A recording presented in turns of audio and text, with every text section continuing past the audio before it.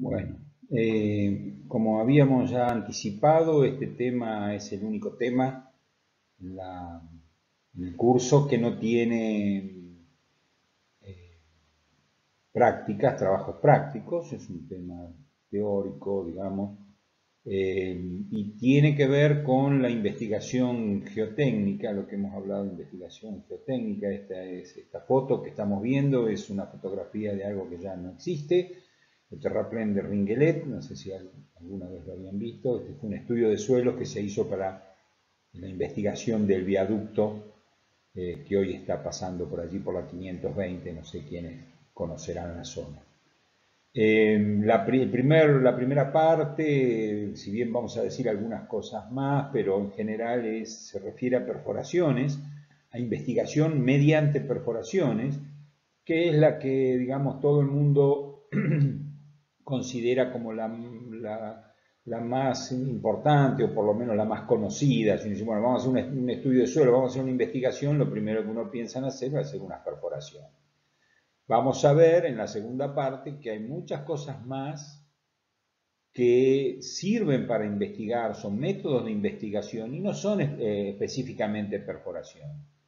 Y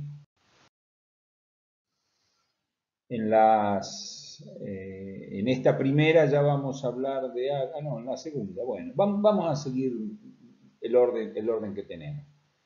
Eh, bueno, después ustedes lo leen con más tranquilidad, pero así rápidamente acá lo que dice que nosotros necesitamos investigar por qué, lo, qué es lo que hace la ingeniería. Predice, predice comportamientos. Bueno, para hacer un edificio de tantos pisos necesito hacer una columna de tal sección y, para, hacer esa predicción necesitamos conocer las características de los materiales que la componen. Eso ya lo conocemos desde, resistencia de materiales.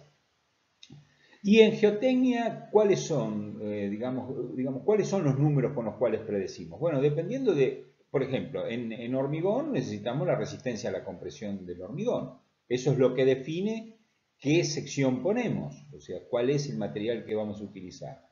En geotecnia no la tenemos tan fácil porque eh, en hormigón nosotros construimos, eh, diseñamos el material, contraemos los, seleccionamos los materiales, los mezclamos, le ponemos la cantidad de agua justa, los llevamos con cuidado, los disponemos, los vibramos y bueno, hacemos un control de calidad que en geotecnia no podemos hacer. En geotecnia se puede hacer en un terraplén, en un camino, en una presa, ese, ese tipo de materiales son más o menos parecidos a, le damos un tratamiento parecido al que le damos en hormigones, pero la mayor cantidad de casos y los más difíciles de resolver son aquellos, aquellos problemas que nos, ha, que nos impone el suelo, que no lo hemos manejado nosotros. ¿eh? Nos lo ha puesto pata Dios allí y nosotros tenemos que,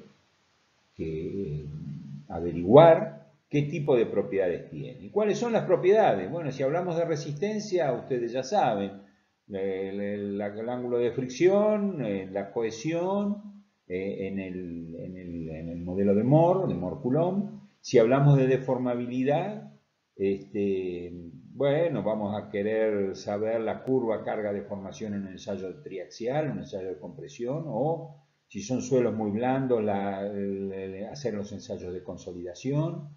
Si nuestro problema es el drenaje, vamos a tener, o sea, estudiar cómo drena el agua bajo una presa o, o el cuerpo de una presa, vamos a tener que estudiar la permeabilidad. Entonces, para distintos problemas tendremos que conocer distintos parámetros para hacer nuestras predicciones de ingenieros civiles y para eso necesitamos el conocimiento del material. Y, como dije, no la tenemos fácil, lo tenemos que investigar. Este, yo creo que ya se los dije en alguna, en alguna parte del curso, ya disponemos de modelos numéricos que nos permiten resolver casi cualquier cosa. Casi cualquier, cualquier, cualquier situación que nos imaginemos la podemos resolver numéricamente. Todo la ingeniería geotécnica todavía no avanzó lo suficiente para este, entregar la información para que esos modelos, o sea, los parámetros de cálculo para que esos modelos puedan correr eh, con cierta certeza, digamos, de que, de que van a, predecir el, comportamiento del material. Afortunadamente, cambiando un poco, hay una línea, nosotros hoy en el país todavía no la estamos viendo, yo algunas, algunos anticipos le he traído en cuanto a que la investigación está yendo a cosas menos este, burdas, digamos, nuestros, nuestros métodos de investigación son poner un caño, clavar un caño a los golpes y bueno, hoy tenemos una tecnología que nos ayuda un poco más y que nos permite sin, sin hacer extracciones como los métodos de los médicos, los métodos invasivos o no invasivos. Ahora estamos empezando, estamos teniendo, ya hace mucho que lo tenemos, pero ahora hay realmente un avance en el conocimiento y en la, transmisión de la información sobre los métodos que llamaríamos no invasivos. Eso lo vamos a ver en la segunda parte de, la clase. Eh, decimos métodos de campo y métodos de laboratorio son los métodos que habitualmente uno usa. Ustedes ya conocen, los de laboratorio los hemos, hemos visto algo el año pasado, los principales en geotecnia, y los métodos de campo no hemos visto nada todavía, o sea, las muestras hay que traerlas, hay que extraerlas o hay que probarlas in situ. Eso es lo que vamos a ver en esta clase. Y después aquí que está remarcado, dice, no debe olvidarse la caracterización geomorfológica. cuando vimos en eh, estabilidad de taludes, estuvimos viendo con bastante eh, detalle más de que, del que está en los libros en general de geotecnia o de ingeniería geotécnica, porque es un, es un tema que bordea el, el, campo de acción de la geología. Pero nosotros como ingenieros tenemos que conocer que esas posibilidades nos permiten, tenemos herramientas, una herramienta muy importante es la geología, y dentro de la geología lo que llamamos la geomorfología. Miramos la forma de la Tierra eh, y, ya tenemos un primer indicio de qué es lo que pasa en profundidad. ¿Se acuerdan de esta fotito que está acá abajo? Bueno, ya sabíamos qué era lo que pasaba ahí abajo sin hacer nada. Por supuesto, en una zona como la nuestra, La Plata, Buenos Aires, donde todo es horizontal, chato y, sin ningún relieve, es difícil utilizar la, geomorfología. No obstante eso, cuando vimos geotecnia, yo ya les dije, por ejemplo, que acá la, avenida 122 es el límite entre, entre dos formaciones geomorfológicas muy claras, la Tosca, digamos, al lado de La Plata, y lo que llamamos la planicie de, inundación eh, del río de la Plata, que viene hace 10 unos 10.000 años este, bañando y se, está retirando cada vez más, pero ha venido bañando todo el, el, trayecto que une La Plata con Berizo, con Ensenada. Entonces, este, la geomorfología o la geología, el primer dato de una investigación. Por lo menos saber dónde estamos parados, saber que tenemos tosca abajo, o saber que tenemos, que estamos, no quiere decir que hay que llamar a un geólogo todos los días, pero si estamos en Berizo sabemos que ahí abajo vamos a tener barrito y si estamos en La Plata vamos a saber que tenemos un suelo muy bueno. ¿no? Ese es el nivel al cual yo digo que en todos los casos hay que conocer algo de geología. Bueno, ya después cuando empezamos a hacer investigaciones de las que ustedes ya más se imaginan, esto es la más simple de todas. Acá esto en extracción de muestras con un, helicoide eh, o con lo que llamamos polo posero o posteador, para poner postes. Eh, bueno, es la forma más eh, elemental, digamos, de sacar muestras hasta 3, 4 metros en las toscas duras nuestras no pasamos de, dos metros, dos metros y medio, pero bueno, es un orden de magnitud. Por supuesto, ustedes han visto los ensayos triaxiales que hemos hecho, ahí necesitamos muestras inalteradas, muestras que tengan su estructura. Ustedes recuerdan, ¿no? Los suelos son partículas eh, en general resistentes o mucho más resistentes que el mismo suelo, pero que están formando una estructura y a nosotros lo que nos importa es la estructura, ¿cómo está? ¿Más densa o más suelta? Es la diferencia entre que funciona o no funciona, ¿no? O sea que con decir que tenemos una arena no sabemos mucho para, terminar, determinar una fundación. Tenemos que saber si está densa, si está suelta, si está saturada, si, o sea, necesitamos algunas cosas más.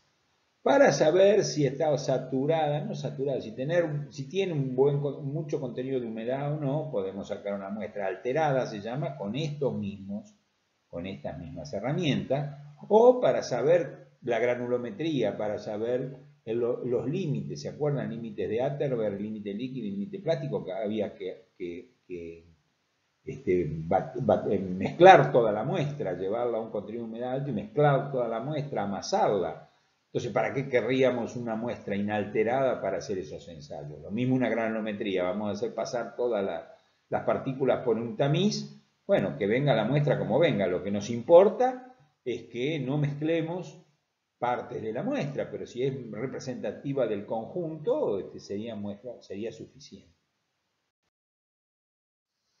Cuando ya necesitamos hacer otro tipo de estudios de mayor profundidad, bueno, profundidad en, precisamente en profundidad, en más metros, estos son, si alguna vez han pasado por las obras de estudios de suelos, acá en la ciudad de La Plata, en Puente, en cualquier lugar, la forma convencional de hacer un, estudio de suelos es con el esquema este que está aquí, que nos va a, llevar las próximas transparencias, diapositivas. Eh, se pone un trípode, ¿eh? acá se ven dos patas, la tercera estaría del lado que, se está sacando, que se está dibujando el esquema. Eh, se tiene, se tiene una una cañería, que es esta, desde acá hasta acá abajo, son caños, son caños, en el fondo hay una herramienta y se pega, esto, esto para hacer la perforación, después vamos a, hablar, vamos a ver cómo sacamos la muestra, pero para hacer una perforación más profunda, para llegar a sacar una muestra más abajo, digamos, con esta forma, de esta, con esta forma de de hacer ensayos, de hacer eh, investigación, se puede llegar a 100 metros, en algún caso un poco más. Lo más común para hacer estudios de suelo para viviendas es 8 metros, 6 metros de profundidad. Es bastante habitual eh, investigar hasta 20 metros, 25 metros con estos equipos. Y bueno, si uno tiene que ir a hacer un pozo de 100 metros, ya tiene que ir un poquito más equipado, digamos, con equipo con, gente que tenga más fuerza, porque casi todo esto van a ver es todo fuerza. La perforación misma se hace, como dije, a percusión. Se pone acá una, herramienta que suele llamarse de cola de pescado, es como la cola de un pescado, ¿no? Como aplanado en un diámetro y por allí hay un orificio donde sale agua, donde se le manda agua. El agua se manda con esta bomba. Se, se toma acá estaría eh, indicando que el agua está saliendo por acá, pero después vamos a ver que sale por otro lado y cae, en la cubeta, entonces uno la recupera, pero acá tendría que dejar caer el detrito, porque a medida que uno va perforando y va golpeando y va girando esto y, y va mandando agua, con esta bomba por acá manda agua, esto obviamente es una válvula rotativa, ¿no es cierto? Porque si no la manguera se enroscaría toda, porque esta, esta cañería se va, se va, eh, va girando, va girando y la van levantando y van pegando. Hay, una, hay dos videos que les voy a incorporar, que les incorporé en la, en la documentación. Uno se ve precisamente este método. Les pido que lo miren, va a ser, mirar ese video va a ser más, bastante más este, ejemplificador que, este cuento que le estoy haciendo yo, que me está costando, sobre todo que no tengo las manos para que ustedes me vean, entonces uno tiene que estar describiendo esto muy bien y a veces no es tan fácil o, bueno, uno no, sabe hacerlo. Eh, esta cañería se la toma de una, con una soga, pues vamos a ver esa soga cómo, cómo, cómo funciona, este, o sea, se levanta y se baja. O sea, con esta soga uno puede levantar y bajar con un motorcito, con un reenvío que tiene el equipo. Y acá mandamos agua por adentro, por dentro del caño, ¿eh? con esta, como dije, esta válvula esférica. Y en la, punta tiene unas salidas, ahí en la cola de pescado tiene una salida, el agua, y eh, la cola de pescado es como un cincel, ¿no? un gran cincel, y entonces pegando y como dije, girando y mandando agua, el agua vuelve por aquí, sale, cae en esta cubeta, entonces esa es la, digamos, la forma de perforar en profundidad. Esto es para perforar. Hasta acá nos sacamos muestra. ¿Qué muestra sacamos? En este tachito nos queda la granulometría. Si fuera roca es lo que los geólogos llaman cutting, ¿eh? cortar la roca cortada, los pedacitos, ya sabemos, podemos saber si es arena, sabemos, si es grava o limo, podemos saber, pero ya viene toda lavada, los finos vienen lavados, eh, eh, digamos, la, eh, el agua vuelve sucia y el agua sucia es porque está trayendo coloides en, suspensión y arcilla en suspensión. Bueno, o sea, no, la muestra que queda acá no sirve para nada más que para hacer una primera aproximación visual. Esta no la podemos llevar para hacer el límite líquido porque sale demasiado eh, alterada, totalmente rota, totalmente amasada y más que eso eh, hasta clasificada porque cuando viene el agua llevándola hacia arriba, primero salen los limos y las arcillas, después arena y a veces si hay grava no se puede levantar y queda abajo. Bueno, en la, para tomar la muestra se utiliza una cuchara normalizada y se hace un ensayo normal de penetración, Standard Penetration Test. Es una norma, la norma americana y hay una norma IRAN, la 10.517, que lo está normalizando. Esto siempre digo lo mismo, a pesar de que se llama ensayo normal de penetración, es el menos normalizado de todos los ensayos en el mundo. Cada uno hace su variante. Ahora, en los últimos años en Argentina se está intentando volver al mundo. Digamos, el mundo empezó con esta sacamuestra. Ahora que este, este, esto, este ensayo, si todo va por el lado que les digo, que no creo en la Argentina, va a faltar mucho tiempo todavía, este ensayo va, a empezar a caer, va a caer en desuso. ahora tenemos eh, conos estáticos, el mundo está yendo para otro lado. Después vamos a ver por qué nosotros no. Y, pero nosotros también tuvimos un, un inicio renegado, ¿no? O sea, nosotros estuvimos eh, diferente al mundo. El mundo empezó con esta STM, con un sacamuestra de 35 milímetros, o sea, 3 centímetros y medio, 90 eh, centímetros, perdón, 45 centímetros de longitud, eh, en tres tramos de 15, en tres tramos de 15, y eh, lo que se hacía, se roscaba este, o se hace, se rosca este sacamuestras en la punta de la varilla, o sea, después que se termina de perforar, que se, que se, se pega con la cola de pescado, se, se deja un buen rato agua saliendo. O sea, el agua para qué? Para que limpie todo el pozo. Una vez que el fondo, todo el fondo del pozo está limpio, se saca la cola de pescado, se pone esta herramienta roscada aquí,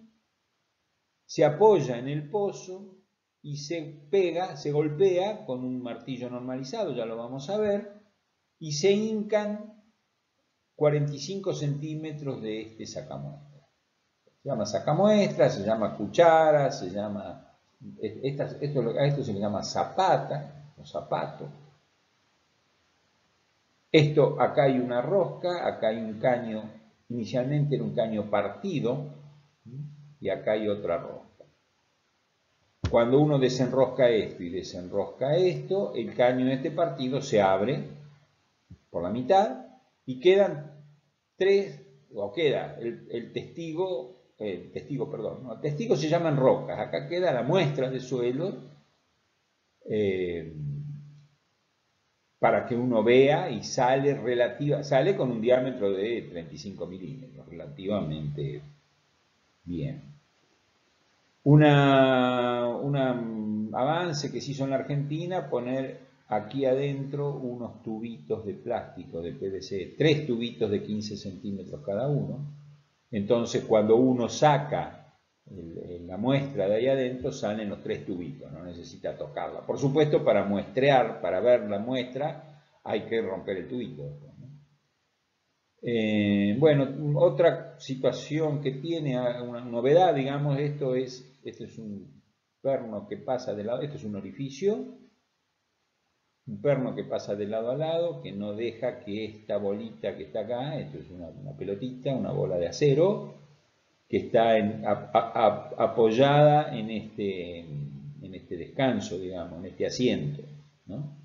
Entonces, cuando vamos metiendo el sacamuestra para adentro, esta bolita se levanta y por aquí sale el aire. Cuando vamos a levantar la, el sacamuestra, esta bolita se hace vacío acá, se pega a este asiento y entonces aquí se hace, vacío y, logra que la muestra se levante. Salvo en arena muy, que no tienen materiales finos, que estén saturadas, bueno, ahí es difícil, ahí hay que buscar otro tipo de muestreador. No es fácil muestrear arena, en algunos casos ni se muestrea arena directamente, ¿no? porque no se puede.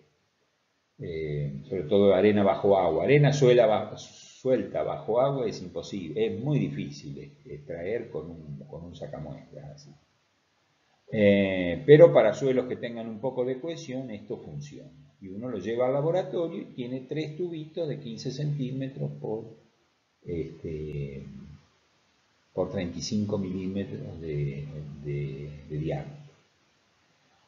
Por supuesto, ya se han dado cuenta que la, primera medida que sacamos de acá es el número de golpes, por eso el Standard Penetration Test. El primer dato que uno saca de acá, además de poder llevarse la muestra al laboratorio, es cuántos golpes tuvo que aplicar para hincar estos 45 centímetros de un martillo normalizado. Bueno, acá hay un poquito más el tema de la caída y esto viene de la norma americana. Ellos usan esto que se llama un reenvío, un malacate. Reenvío malacate. Eh, acá está, esta, es la, barra de perforación, esta es la cañería que llega hasta abajo, se le pone acá arriba un, eh, o sea, se, se, saca, porque obviamente acá había, vieron que había una válvula, acá había una, una válvula, eh, digamos, esta es la camisa que es la parte de afuera del caño, que a veces se pone, a veces no, a veces no. En la parte superior en general siempre se pone una camisa.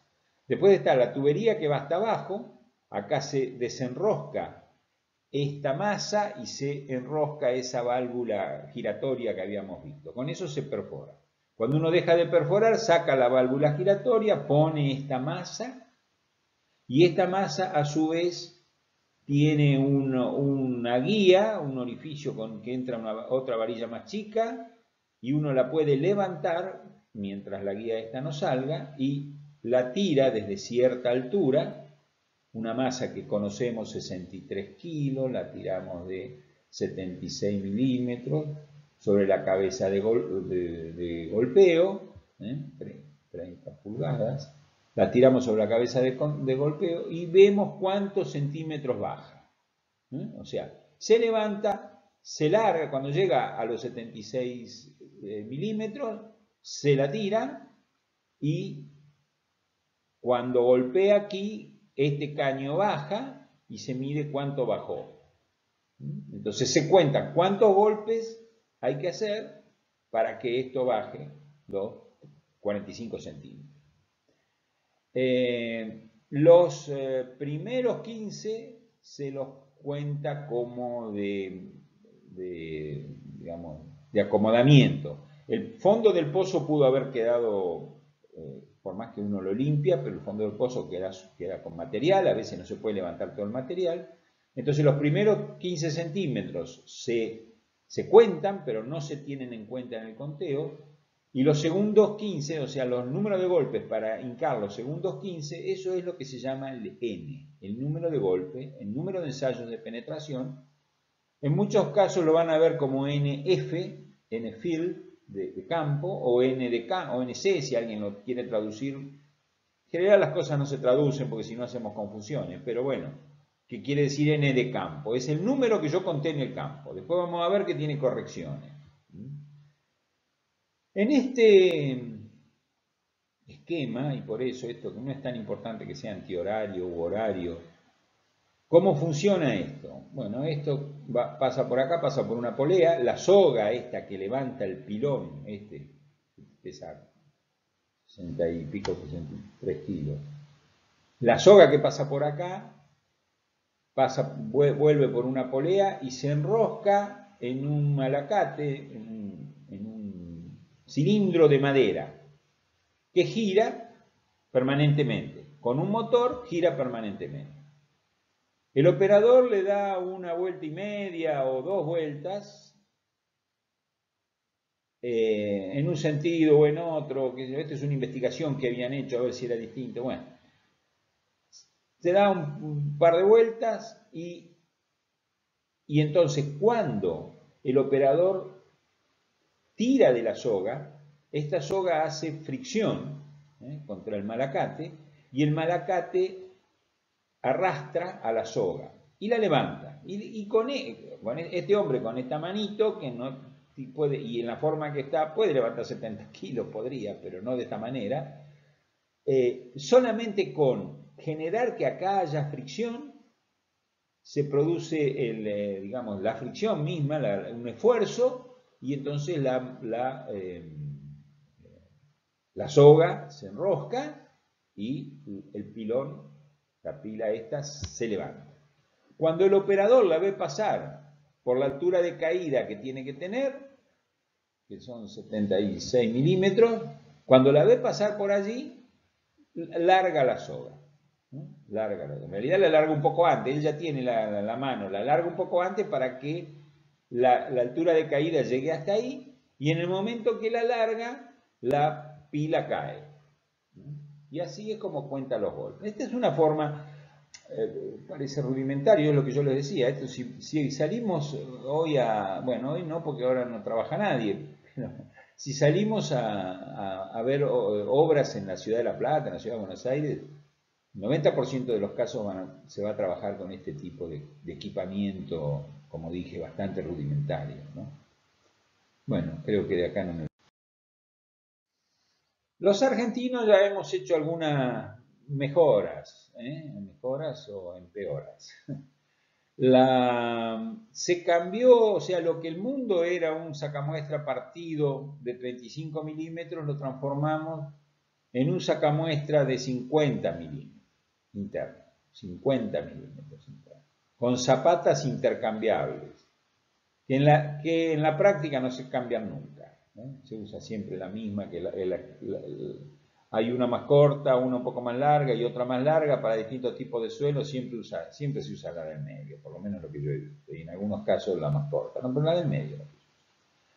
Eh, acá también hay una zapata que se puede extraer, zapata o zapato que se puede extraer y entonces queda el tubo, pero el tubo ya no es partido, este tubo sí ya tiene, bueno, en realidad no lo dije, pero desde que le empezaron a poner tubos de PVC al anterior, al de 35 milímetros adentro, tampoco los hacen partido, porque son eh, más débiles, digamos, para los golpes, eh, les duran menos. Entonces, una vez que pusieron eh, tubos de PVC adentro, que no era necesario abrirlo para ver la muestra, sino que la muestra sale por la punta, ahora tampoco los de 35 milímetros, o sea, los anteriores, son partidos. Este definitivamente este ya no nació partido, sino que tenía, tiene un cilindro de, estos, de los 45 centímetros y ahí adentro tiene los tres tubitos, ¿eh? los tres tubitos de 15 centímetros, de, 15, de PVC. Y por supuesto el PVC está un poquitito más adentro, acá hay una muesca ¿no? para que entre el tubito de PVC adentro de este otro. La bolita atrás es la misma, bueno, lo que cambia entonces es el diámetro básicamente y la zapata.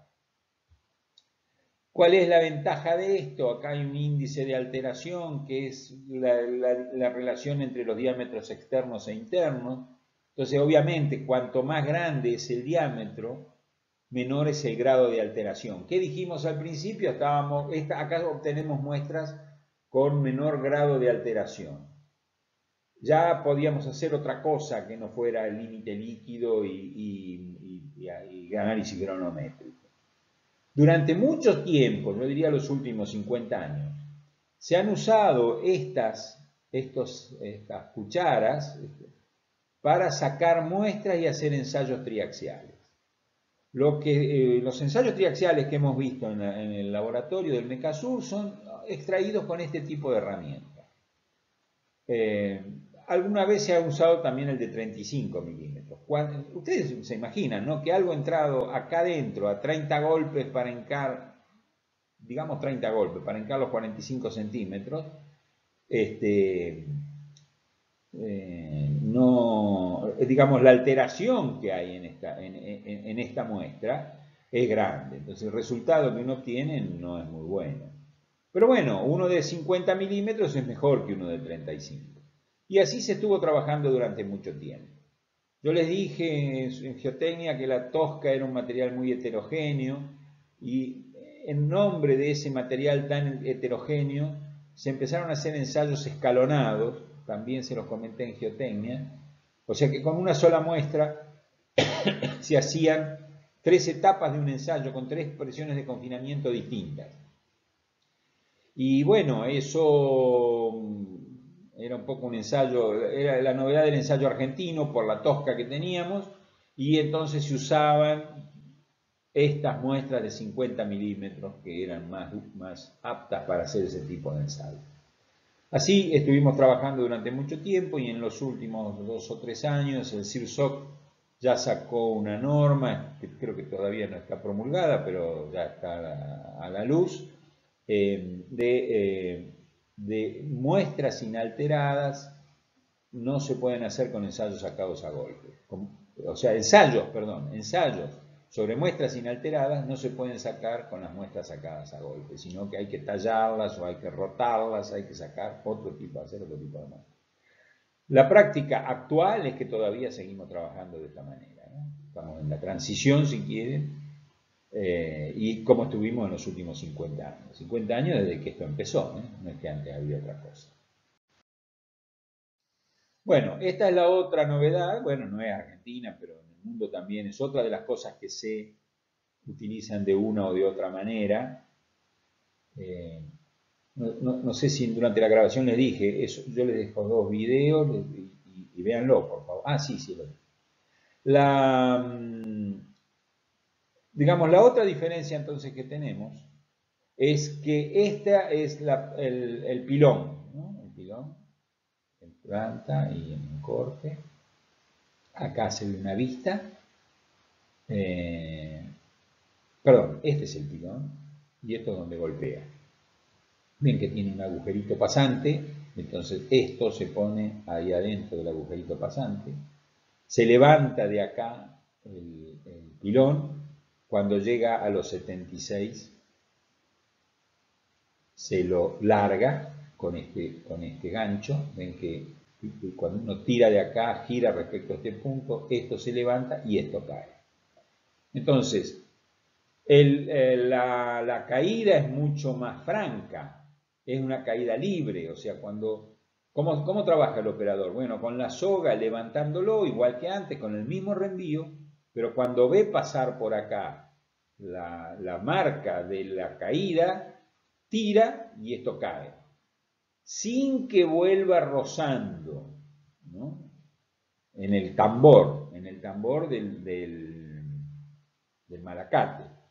Yo siempre acá cuento una anécdota, eh, en, la, anterior crisis, en el 2001 fui a trabajar a Centroamérica y unos meses y eh, precisamente lo que tenía que hacer, entre otras cosas, controlar unos, estos ensayos, ir a ver estos ensayos. Em, bueno, yo ya había visto mucho de esto acá, ya es más, ya había dejado de preocuparme por el ensayo normal de penetración. Cuando uno empieza en estas cosas, lo primero que mira es el ensayo normal de, penetración. Este, después, eh, bueno, ya, ya no, no le da más, más bolilla al asunto. Este, bueno, estaban trabajando en unos cañaverales, altas, cañas altas, cañas de azúcar alta, entonces no se veía, se escuchaba el ruido nada más. Íbamos caminando, bajamos la camioneta, íbamos caminando buscando el, equipo. Yo escuchaba algo raro, digo, ¿qué están haciendo? No, ensayo de penetración. Yo no escuchaba el ruido del ensayo de penetración, estaba un golpecito muy, muy, muy suave. Entonces cuando llego, lo primero que hago, voy a ver, estaban con el reenvío. La verdad que en la Argentina se usaban poco y nada el reenvío. Se usa el disparador, se usa este disparador. Con esto la, caída es más seca. Y bueno, cuando yo empecé a hablar ahí con el operador, pero ustedes siempre lo hacen así, no incorporan un, este, un disparador. Bueno, no, nadie sabía nada del disparador, ni sabían que existía. Eh, entonces digo, no, no, esto no puede ser. Porque yo escuchaba muy, muy, muy el, el, golpe muy suave. Entonces, en realidad estaba haciéndolo un, un ayudante, después el, perforista, el principal, se dio cuenta que estaban haciendo las cosas mal y agarró él la soga y cuando agarró la soga la alargaba más, más rápido y la soga eh, eh, este, se desenroscaba también más rápido sin hacer fricción contra el malacate. Eh, y bueno, ahí me di cuenta de lo que estaba pasando. Digo, no, ustedes tienen que hacer con disparador. Y bueno, después vino el ingeniero, me dice, ingeniero, acá no se usa disparador. Acá usamos la norma, la norma STM y con el, con el reenvío y esto se hace así. Los americanos usan todo con el reenvío Después vamos a ver la energía que ellos aplican es 60% de la teórica y nosotros con el disparador aplicamos el 90%. Pero hay algo peor, que es lo que yo noté. La segunda vez cuando fue el operador que sabía un poco más, lo largaba un poco mejor y el ruido era un poco más fuerte, pero no podemos estar, o bueno, no se, no se debería estar dependiendo de las ganas que tenga el operador de largar o no largar el reenvío. Creo que usar este dispositivo es algo más eh, útil, digamos, en la Argentina. Usar el dispositivo, este, este, este disparador es mejor que no usar ese reenvío, que acá prácticamente no se usa. Algunos lo usan igual, pero prácticamente no se usa. Cualquier cosa que uno haga, o sea, eh, obviamente el ensayo se llama normal de penetración, entonces si uno dice SPT, la ST metal, bueno, ya tendría que ser suficiente como para decir esto está normalizado. Como no es así, en los ensayos, y ustedes cuando, cuando reciban ensayos de alguien que no les toca trabajar en la geotecnia, seguramente pocos de ustedes podrían hacerlo, por cuestiones de mercado mismo, este, pero sí van a comprar información, van a comprar estos ensayos para hacer sus obras, y en ese caso hay que ser muy cuidadoso que le digan qué es lo que, qué ensayo de normal de penetración, con qué saca muestra, con qué altura de caída, eh, se corrige o no se corrige con estas correcciones que van a ver ustedes. O sea que eh, usa disparador, no usa disparador, o sea, hay que asegurarse porque si no, en, un edificio para la ciudad de La Plata, un, este, ya conocemos todo la Tosca. Estamos en la Tosca que tiene más de 30 golpes o estamos en, el, barro del Senado y Berizo que tiene 3 golpes. Entonces, mucho no le podemos errar. Pero si estamos en una situación, una obra más importante, una obra que tiene más requerimientos, hay que ser muy cuidadosos de que a cada uno de los del número de golpes se lo corrijan por estas cosas y alguna más la de energía que acá no está. Este es el valor este, por ejemplo, es el n corregido, que es el n de campo o el n fill que le dije. Una corrección que es por, el confinamiento. ¿El confinamiento por qué? Si, la, si la, el suelo está más abajo, va a tener más golpe que si está más arriba y el suelo es el mismo. Entonces se corrige con la, el confinamiento que tenga. Ya vamos a ver qué fórmula. Esta es una de las más importantes. Y después por la energía del martillo, bueno, acá podría, acá puede entrar la energía del martillo, acá si ponemos 45, ponemos 90, nosotros tenemos que poner 90, no, no 60. El factor de longitud de la varilla, no es lo mismo estar perforando a 20 metros de profundidad que a 5, la energía llega mejor porque si no va tocando contra las paredes. El factor de revestimiento interno, una cosa que tenga camisa y otra cosa que tengamos suelo.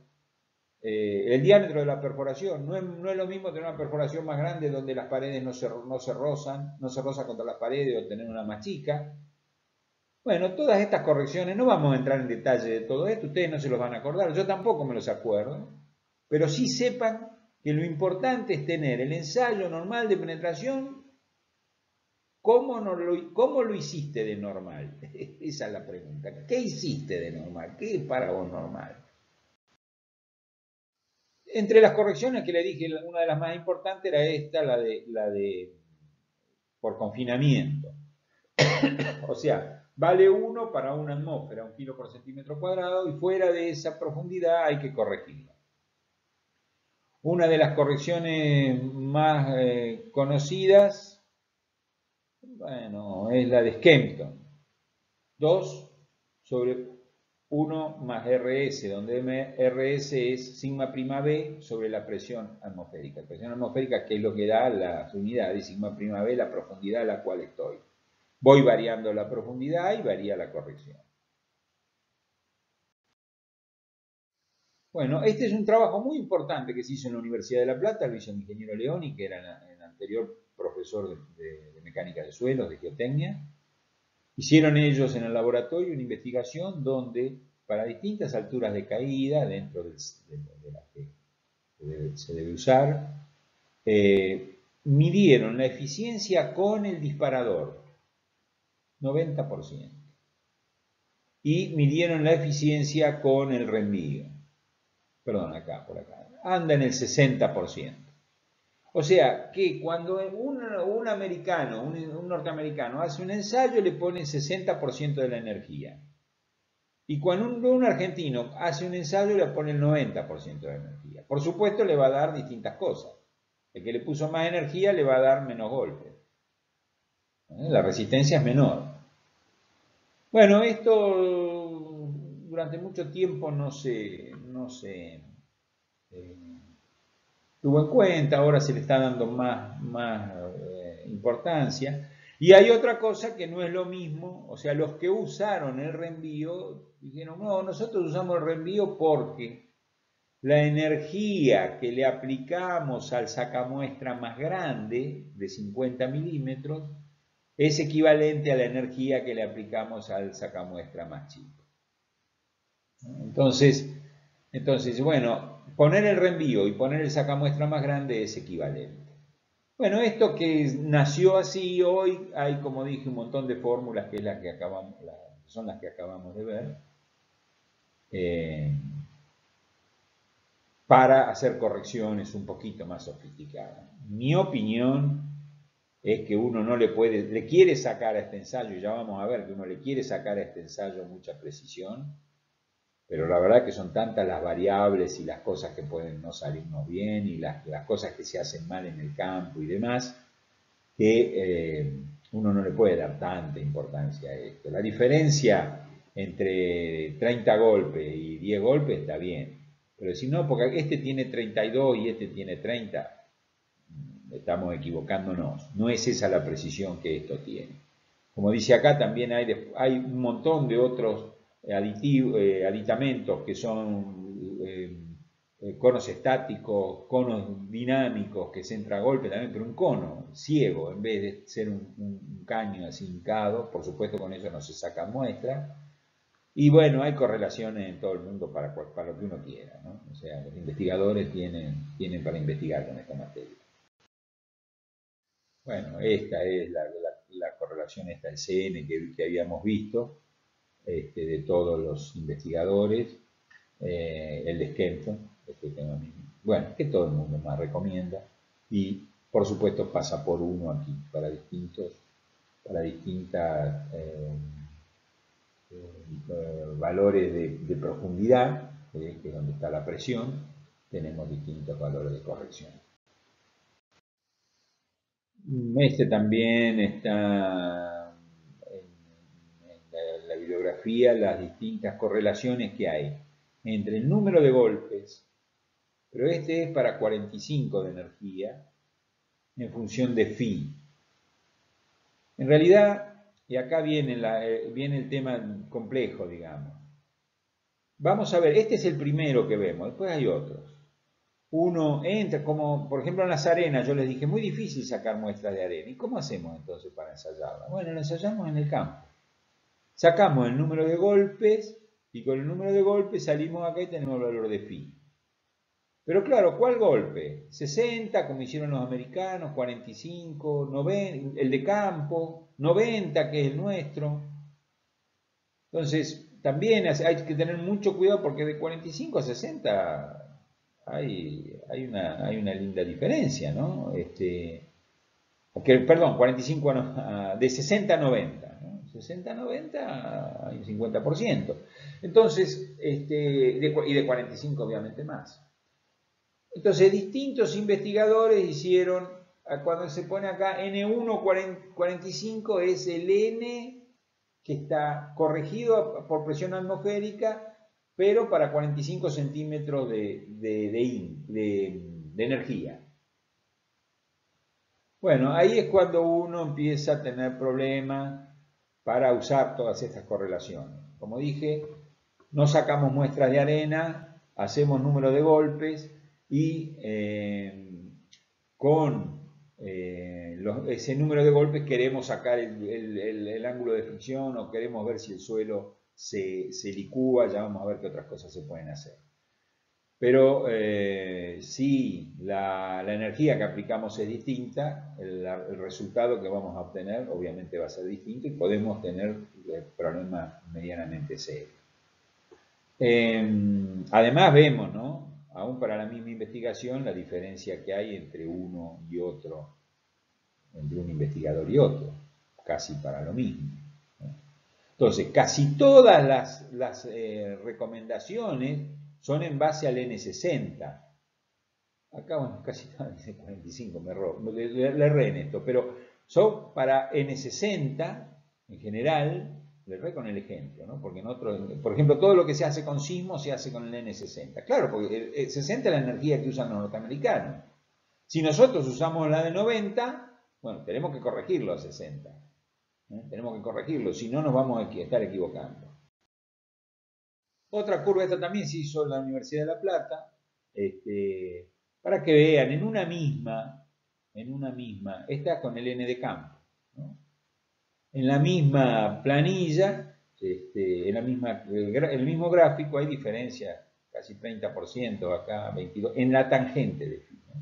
En la tangente de phi, que es la resistencia. En la, tangente de phi hay diferencia importante entre el valor más alto y el valor más bajo. ¿Qué información me está dando esto? Bueno, vamos a decir que tampoco no es ninguna información mucho peor que la que obtenemos en los ensayos triaxiales. El ensayo es muy preciso. Lo que hacemos en la cámara triaxial lo podemos medir con dos decimales. El tema es traer la muestra. ¿no? O sea, este error de 27, 29, 22% es algo habitual en. Eso es lo que yo... y, si alguien les dice una cosa distinta, no le crean en principio. ¿no? Puede ser que en una investigación se hagan cosas más, más refinadas, pero la realidad es que en, en el ejercicio diario estas diferencias son, son, razonables. Bueno, esta transparencia tendría, si bien no es exactamente igual a la que vimos, eh, lo vimos en el método Smerman, recuerdan, para eh, calcular los asentamientos debajo, de una fundación en arenas. ¿Se acuerdan que el problema que tenían las arenas era que era, tiene un módulo de elasticidad variable, aumenta con la profundidad, al estar más confinada tiene más módulo, más módulo de deformabilidad, por lo tanto eh, no se puede aplicar la teoría de la elasticidad y se usaban estas fórmulas empíricas, ¿eh? el asentamiento en función de una sumatoria dividiendo esto en pedacitos, y en cada una de ellas entraba un I sub, sub z, que era este gráfico, este triángulo que está, no, un trapecio y un triángulo que está aquí, eh, y, pero entraba E en cada nivel, que es variable en función de, por supuesto, el número de golpes, perdón, de la densidad y de del confinamiento que tenga, Y hay correlaciones que llevan a esto. el módulo E es 2,5 de eh, el cono, este, el QC, es una información que nos viene de un cono estático, que ya lo vamos a ver, y que si se usa SPT hay que usar esta, correlación entre este y este. Pero en definitiva, yo con el número de golpes calculo el asentamiento. ¿Qué dato necesito acá para calcular el asentamiento? El número de golpes. ¿En realidad tengo el E? No. El E viene de la teoría, pero el E yo no lo mido, yo mido el número de golpes. Entonces, el SPT es método de diseño. Ya lo habíamos visto sin saber qué era el SPT. Bueno, ahora lo sabemos un poco mejor. Esto es muy importante, el SPT ha crecido muchísimo por allá por los años 70, eh, cuando oh, un tal Bolton Seed, este que está acá, desarrolló toda una teoría de California, desarrolló toda una teoría en función, bueno, no él solo, ¿no? pero fue la cabeza, en función de... Eh, el número de golpes, entramos con N1 60, ¿ven? Ahora le tiene que resultar conocido, ¿no? Que es N1 60. N1 porque está corregido por el resto de las cosas. ¿Y 60 por qué? Y, porque no es N-fil, ¿eh? no es el de campo. ¿Y 60 por qué? Y porque aplicar los, esto se hizo, esta investigación se, se llevó a lo que han hecho los americanos que usan 60% de energía. Acá hay puntos de todo el mundo. Esto es el tau de, de, rotura sobre la presión normal efectiva. Sigma prima sobre tau que genera rotura en un sismo. Todo lo que está acá arriba se, eh, digamos, tiene problema de liquefacción. Todo lo que está acá abajo no. Para distintos valores de contenido de fino. 35% de fino a medida que, la cantidad de finos es mayor, es menor la posibilidad de, licuarse. ¿eh?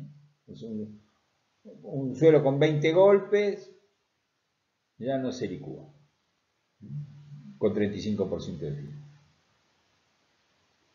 Pero bueno, estas son, son este, investigaciones que se han hecho y varían todos los años, en todos los congresos, tenemos algunos puntos más por acá que alguien termina sacándolo afuera Perdón, si le cae alguno afuera, por ahí cambia la, conclusión.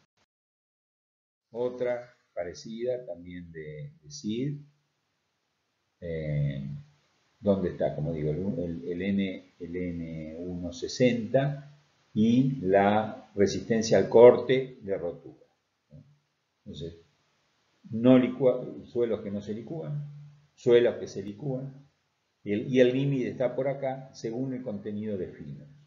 Al tener más fino, como digo, se licúa menos. Y acá en este lado tenemos la, tensión, digamos, de cizallamiento, la, perdón, la, eh, la deformación específica de cizallamiento. En función también del de, eh, número de golpes. Esto llevado a un determinado sismo, digamos, bueno, habría que entrar a, analizarlo, todo esto, tendríamos que hacer varias clases para, aprender este tema. Bueno, ahora pasamos a otro mundo, a un mundo un poquito, vamos pasando a un mundo un poquito más, más nuevo. Si bien esta primera transparencia no, esta primera transparencia también es de los años 80 y bueno, mostraba distintas formas de trabajar con distintos conos ciegos que uno los puede entrar o a los golpes o haciendo un esfuerzo. Y por ejemplo, en este tipo uno hace, hace eh, empuja, y en este mismo empuja, y bueno, este también y este también. Uno empuja la punta por separado de lo que empuja el fuste, entonces tiene el esfuerzo que hace la punta sola. Entonces esto es la fuerza, mide el esfuerzo que hay que hacer para hincar, por ejemplo, 5 centímetros la punta. La presión. obviamente hoy tenemos sensores con los cuales vamos midiendo la presión en, forma continua, un avance continuo de, los conos. Estos conos en realidad se usaban, por ejemplo, yo todavía no se los dije, pero uno de los suelos más difíciles, les dije, los suelos difíciles de muestrear son las arenas para sacar muestras, pero con estos conos la resolvimos, o sea, la resolvieron. Ahora, cuando tenemos gravas de 2, 3 pulgadas, 10 eh, centímetros de, diámetro o más, ¿cómo hacemos para muestrear eso? ¿Cómo hacemos para llevar eso al laboratorio? Y el ensayo de, penetración, ¿y qué, saca muestra voy a poner de, 50 milímetros si la, muestra tiene, si la piedra más chica tiene, o la más grande, tiene 90 milímetros? En algunos casos se intentó o se intenta eh, estos conociegos, porque en realidad no es lo que, a uno le preocupa, en general no preocupan las gravas, sino que en algún momento, en algún lugar, ustedes saben, los ríos van trayendo regímenes de distintas, distintos caudales en distintas épocas del año, y por ahí dejan bolsones de arena, o a veces más finos, y bueno, encontrar esos bolsones de arena sueltas, más finos, es, todo un tema, ¿no? Una obra, un tema de importancia. Si uno deja un bolsón de arena debajo de una presa que se puede, en una zona que puede haber licuación o licuefacción, bueno, estamos en un problema, es un problema serio. Y bueno, una de las formas es aplicarle, eh, utilizar estos conos. Entonces, bueno, en, la, las gravas lo pasamos como podemos y no le damos mucha importancia al, valor y cuando llegamos a las arenas, a, un, lentecito de arena, podemos darnos cuenta de que, tenemos, tenemos arena, arena suelta porque enseguida nos vamos a dar cuenta cómo avanza ese penetrómetro.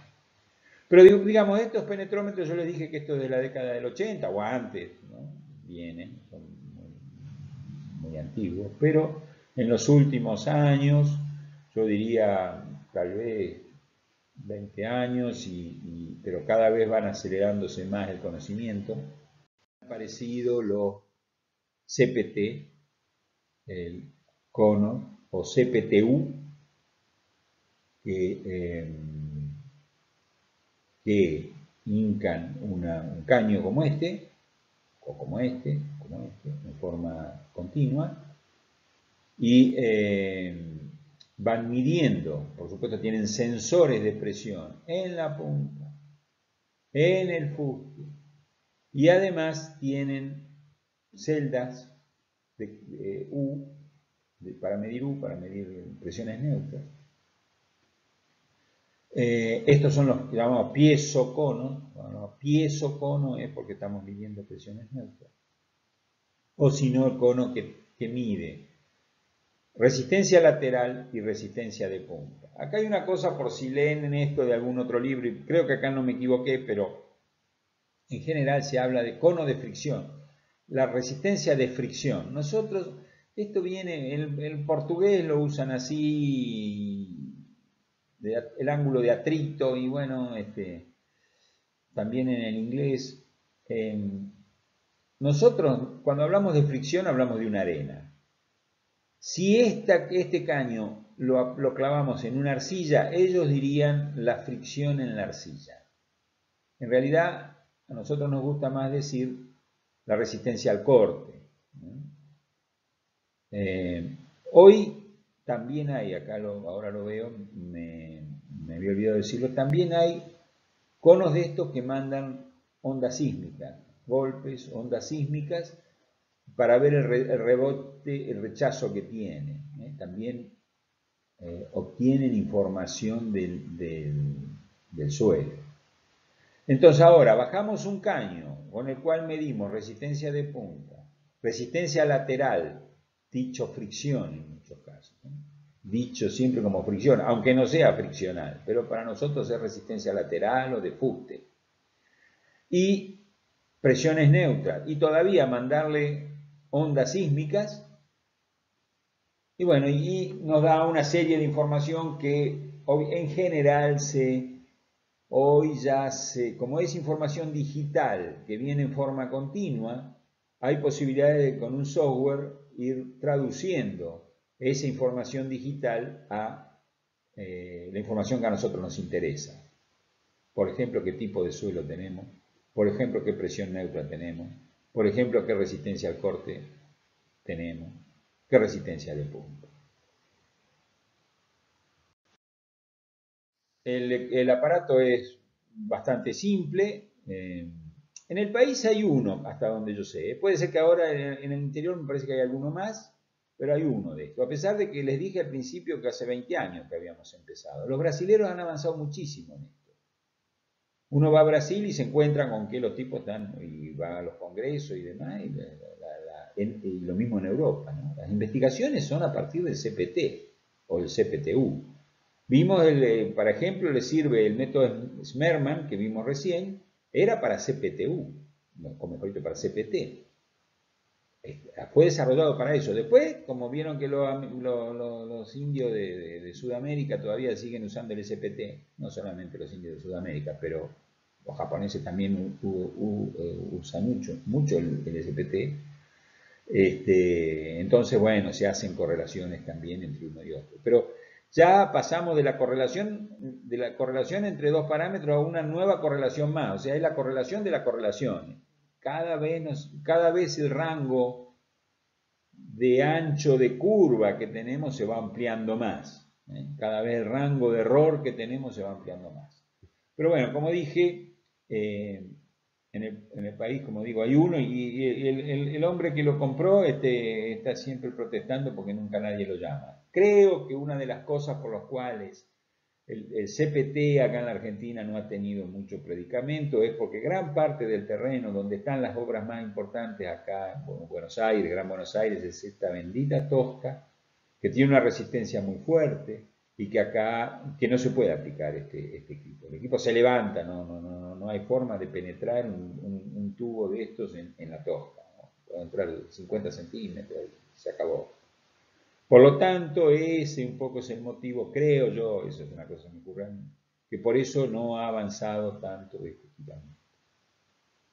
En los suelos como el de Camino a Berizo, Berizo, Ensenada, en Docsud, ahí funciona, y bueno, este único que hay a veces, a veces lo usan. Pero entonces, resistencia de punta, presión de poros, acá tiene un sensor, y fricción lateral.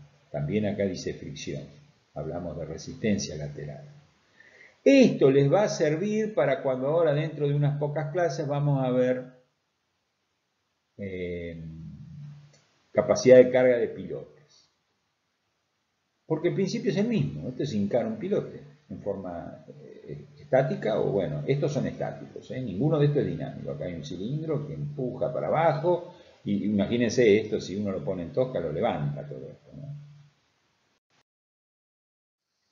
Ah, bueno, este es importante, les pido que se pierdan unos minutos para ver. Esto es eh, una, lo voy a leer, se muestra un resultado típico en el primer gráfico, este, se tiene la resistencia de punta, QC. O sea, ¿cómo varía la QC con la profundidad? ¿Cuál es? Esta es la QC. Carga de punta con la profundidad.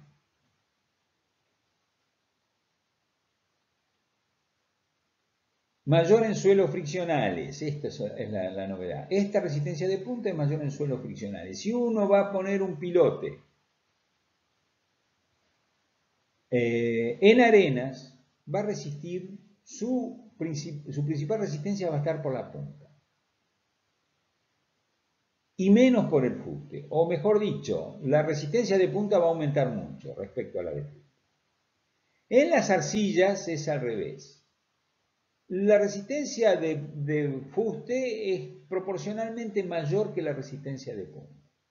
Por supuesto que todo depende de lo resistente que sea cada arena o cada arcilla, ¿no? Una arcilla débil va a ser débil en todos lados, en la punta y en el fuste, y en la resistente va a ser resistente en la punta y en el fuste. Pero proporcionalmente en las arenas la punta resiste más que el fuste y en las arcillas la arcilla resiste más. Eh, el fuste resiste más que la punta.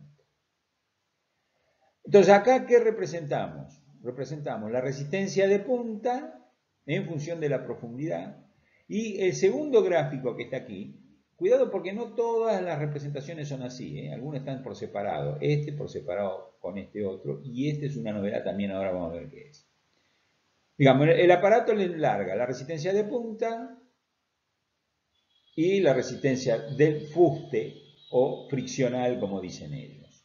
Acá ya vemos esto que les estoy diciendo de que la arena y la arcilla resisten una, punta y otra, a la punta y otra al fuste. Fíjense, ¿qué tenemos acá? ¿Qué dicen? Arella, Arella, Arella de, Copacabana. Esta es, acá tenemos un fuerte incremento de resistencia de punta, o sea, esta es la punta que cuando va pasando por acá, acá primero hay una, una costra, acá dice crosta, pero es una costra para nosotros, más dura, más resistente. En arcilla mismo, yo esto se lo expliqué alguna vez que pasaba en, en Berizo, en Ensenada, que los suelos ah, se consolidaban por desecación arriba y tenían una zona más dura.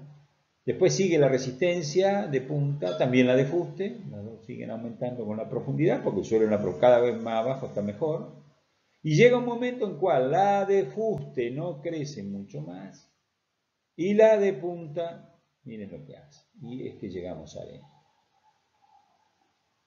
Y después sigue suelo eh, arcilloso. los, portugueses son lindos para escribir, porque uno los entiende, pero parece que estuvieran escribiendo un castellano mal escrito. ¿no? Adensada, ¿qué es adensada? Que es más densa. Sobreadensada, ¿eh? sobre consolidada, esa es la arcilla. Bien, ¿qué pasa entonces con el fuste? Esta es la del fuste, la del fuste viene, bueno, al final dejé de leer acá, pero eh, vamos a seguir. Y la de corte lateral, tausé, Tausé, con mayor influencia en suelos cohesivos. Tiene mayor influencia porque la otra tiene menos. ¿no? Esta, fíjense cómo bajó la resistencia de punta. Un segundo gráfico, este, es la relación entre la resistencia al corte local y la resistencia de punta. Entonces, es esta, la, resistencia al corte, dividido la de punta. Entonces, Obviamente, esta baja acá, y esta viene más o menos paralela a las dos, y acá esta sube y esta baja, por lo tanto esta baja, pues lo dividimos por algo mayor. Bueno, acá vemos claramente el tema de la arena, ¿no? ya le apareció la, arena, indica qué tipo de suelo está atravesando. O sea, acá vemos arcilla, arena. A veces este gráfico no está, bueno, pero uno lo tiene que ver igual el problema. Uno tiene que ver que cuando el pico se va y la resistencia de fuste queda o, no aumenta tanto, no es que pasamos una roca y los dos tienen, tienen, no, se va el pico, la resistencia de punta y queda la resistencia lateral y bueno, estamos en una arena. Entonces esto indica, este cociente indica que suelo se está atravesando. El tercer gráfico, este, representa la presión de poros U. La U, la, medición de poros U que tenemos, por supuesto, acá no tenemos nada. Esta es la presión, esta es la, la, gama del agua por, por H, o sea, la hidrostática. Esta es la hidrostática. En las arenas la presión de poros es similar a la hidrostática. En las arcillas, sin embargo, es mayor porque hay un exceso de presión de poros U generado por el cono al penetrar. ¿Se acuerdan de la teoría de consolidación? Cuando aplicamos una carga rápida el agua no puede salir y entonces toma, toma presión el agua y se descarga la presión efectiva.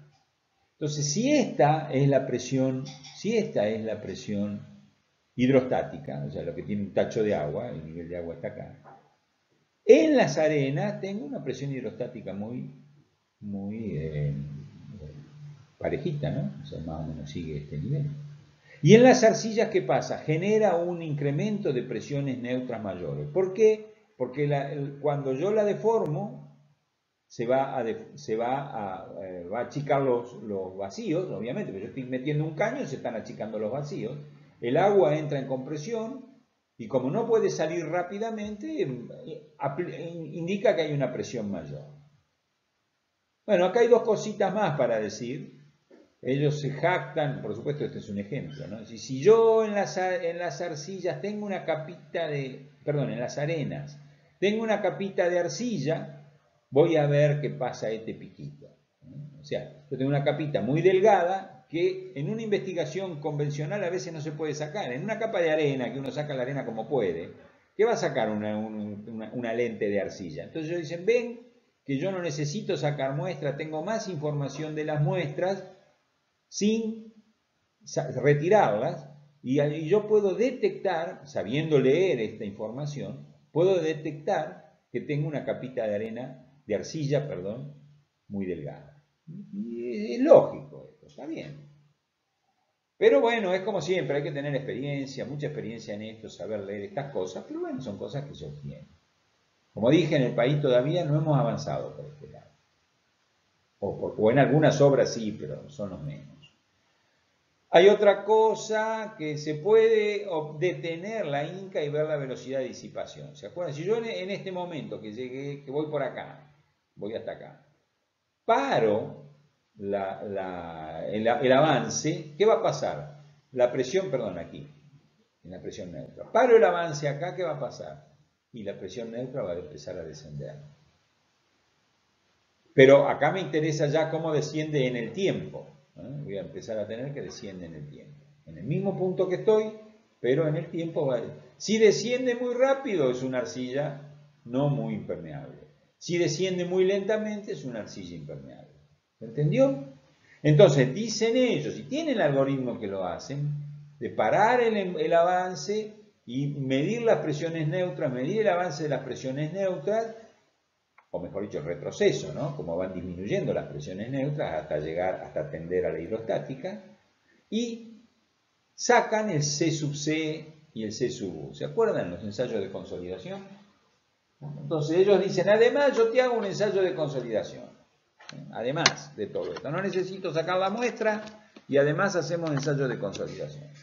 La verdad es que la teoría funciona y digamos lo que tenemos nosotros no es mejor que esto. Y como dije, yo creo que nuestro problema es la tosca, ¿no? En la tosca no entra nada de esto, entonces, ¿para qué lo voy a tener si el 90% del estudio de suelo que lo hago, lo hago así? Bueno, eh, podemos ir todo, esto, bueno, ya en 2003, de ya se entra con la fricción y con la punta y sacamos qué tipo de suelos tenemos. Arena, limo, suelos sensitivos, orgánicos, grava, por acá arriba, cuando tengo mucha fricción y poca resistencia, perdón, mucha de punta y poca resistencia de fricción lateral, bueno, ando por acá con el suelo 7, o lo mismo por acá. Presiones neutras, estos son presiones neutras, aquí están. ¿eh? Obviamente, fíjense que estos son referidos a la, de punta, esta sí es referida a la de punta, menos la resistencia, eh, la efectiva en el terreno, en el sitio. ¿no? O sea, es el incremento de presiones que aplicamos punta eh, y respecto a uno. Pero entonces, bueno, y, entramos acá con los valores que nos da y sabemos qué tipo de suelos tenemos. Tenemos tipo grava, muy duro, arena. Eh, yo, como siempre, cuando esto empezó a llegar, uno decía, ¿y esto funcionará? ¿No funciona? Ahora ya no tengo dudas que sí, que funciona, funciona bien. Pero al principio decía, bueno, el día que me den el color del suelo ya no les voy a creer más. Como digo, casi pueden sacar el color, ¿no? Con esto, sin sacar el suelo, como, una broma, ¿no? Diciendo, bueno, ya si, me dicen que sacan el color ya no les creo. Pero la verdad que, como siempre, estas cosas por ahí inicialmente eh, todo es teórico, pero después cuando se van haciendo estudios y se van viendo y se van verificando y, realmente se obtiene buena información. A ver, yo siempre comparo cuando, cuando hablamos de, geotecnia y de investigación a lo que pasa con la medicina, ¿no? O sea, vamos a ver otros métodos más complicados que esto, vamos a ver algo parecido a las tomografías, vamos a ver algo parecido a los números de golpes, no, el número de golpes ya lo vimos, perdón, eh, las, eh, no, no, tenemos resonancia magnética, pero tenemos tomografías, tenemos tomografías eléctricas, eléctrica, tomografías sísmicas, eh, hacemos análisis químicos, hacemos, y, bueno, y todo eso nos da una serie de información, muchas veces contradictoria. muchas veces muy, eh, eh, con mucha amplitud en, las variables. Y bueno, y uno tiene que tomar una decisión. Y, yo les, les, aseguro que si uno tiene un ensayo solo, eh, bueno, tenemos un resultado y damos una, damos una solución. Y si tenemos 10 ensayos, no tenemos 10 ensayos iguales. No tenemos 10 resultados coincidentes. Tenemos 10 resultados que nos dan un panorama más completo, pero no siempre es información coincidente. Y siempre digo la misma cosa. Supongo que a los médicos, cuando mandan a hacer análisis de orina, de sangre, de, tomografía, radiografía, ecografía, eh, si ellos tendrán información coincidente como para decir sí, vaya y opérese. Y, bueno, y nosotros nos encontramos con eso. Tenemos un montón de elementos, algunos, como digo, no son coincidentes y en algún momento tenemos que decir, bueno, vaya, opérense. Vieron el caso de Condor Cliff, el último ejemplo que vimos en la clase de, estabilidad de taludes es un ejemplo típico de, la cantidad de investigación que se hizo y que sin embargo no se llegó a determinar, y no tanto por, impericia. Bueno, yo estoy adentro, así que no, no, no, no puedo ser, no puedo juzgar tal vez muy, este, equilibradamente, pero les digo que no se han cometido tantos errores como para estar en el lugar donde están. ¿eh? Una situación sumamente difícil desde la investigación. Bueno, volvemos al siglo XXI en Argentina. Eh, estas son, eh, vamos a ver ahora perforaciones con equipo rotativo, que es lo más parecido a lo que ustedes conocen de hacer con caladoras de pavimento, extraer muestras de pavimento en, el camino, ¿no? una ruta, eh, un pavimento. Eh, o sea, es, eh, lo que se hace, se aplican tres parámetros acá. Uno es la rotación, o sea, se hace rotar a la barra, que tiene un elemento abajo que va desbastando la roca. Esto que está dibujado acá es como un tricono, habrán visto en las películas esas petroleras, como son como tres engranajes que van girando, pero eso no saca muestra, esto la tritura totalmente, pero para sacar una muestra es poner la caladora de pavimento esta que yo les dije eh, en, superficie y poner una, una allá abajo. Entonces, un movimiento es rotar, el otro es empujar hacia abajo, con estos cilindros hidráulicos, se empuja hacia abajo, igualmente el peso de la tubería, ¿no? de la cañería, empuja hacia abajo. Y además se le tira agua, también acá se le tira agua. Y entonces con esas tres, manejando esos tres, esas, tres variables, digamos, vamos este, perforando. La, sea que saquemos muestras o no, el, detrito va subiendo, porque como se hace con agua, mandando agua, los pedacitos rotos van subiendo, van por acá, por esta zanja que está por aquí, está acá está en vista, cae a este pozo, bueno, mejor dicho, cae a este pozo, sí, por la zanja esta viene al pozo, allí se decanta, se asienta, el geólogo puede ver el tipo de roca que tenemos, ¿eh? el, cutting, como les dije hoy, y después pasa por este vertedero agua limpia, y de acá la bomba chupa el agua limpia y la manda, perdón, la manda por acá, por esta bomba, acá hay un pulmón para evitar los golpes de la bomba, va el agua por acá, esto es flexible por supuesto, y acá de nuevo hay una válvula giratoria y el agua va después por adentro de estos caños. Va por adentro de estos caños hasta que llega abajo. Eh, como el cable también lo único que acá en vez de tener, tener un malacate tenemos un tambor que va enrosca o desenrosca, va para un lado o va para el otro, es un poquito más sofisticado. Están estas cuñas que sirven para qué? Para cuando yo voy a, sacar la, muestra, si estoy sacando muestra. Hasta acá lo que hemos visto, esto rompe nomás, no necesita sacar la muestra nunca. Pero si en algún momento hay que sacar la cañería o hay que sacar el sacamuestra para, para cambiarlo, para sacarle la muestra, se ponen estas cuñas, ¿eh? son dos cuñas que se ponen aquí en este asiento. En este asiento que ya le dije esto, le dije todos los años, eh, esto viene del mexicano, entonces a esto lo llaman araña, esto en realidad nosotros no lo llamamos araña, ¿no? estos son eh, una válvula de pie. ¿eh? Este es un asiento cónico y estas son unas cuñas cónicas que se colocan allí y, esto se traba para qué? Para cuando yo voy levantando, levanto la cañería, porque cada vez que tengo que sacar la, la barra de allá abajo, tengo que levantar toda la cañería, desenroscar, y cuando desenrosco se me cae todo. Bueno, entonces hay que ponerle. Eh, el movimiento de rotación se da con un, con un engranaje que hay acá, después lo vamos a ver mejor en la siguiente transparencia, pero en definitiva lo que gira es esta barra, ¿no? Esta barra y, todas estas barras, toda esta y esta y toda esta, todo gira menos la, el ADM, que acá dice ADM, que nosotros llamamos camisa. Tampoco nosotros llamamos ADM a esto, llamamos camisa. La, mm, esto que es un poquito más, ven que es más ancho, esta barra es más ancha que esta. ¿Por qué? Esto es simplemente un caño eh, de sección circular y esta es una, una barra que es cuadrada o hexagonal.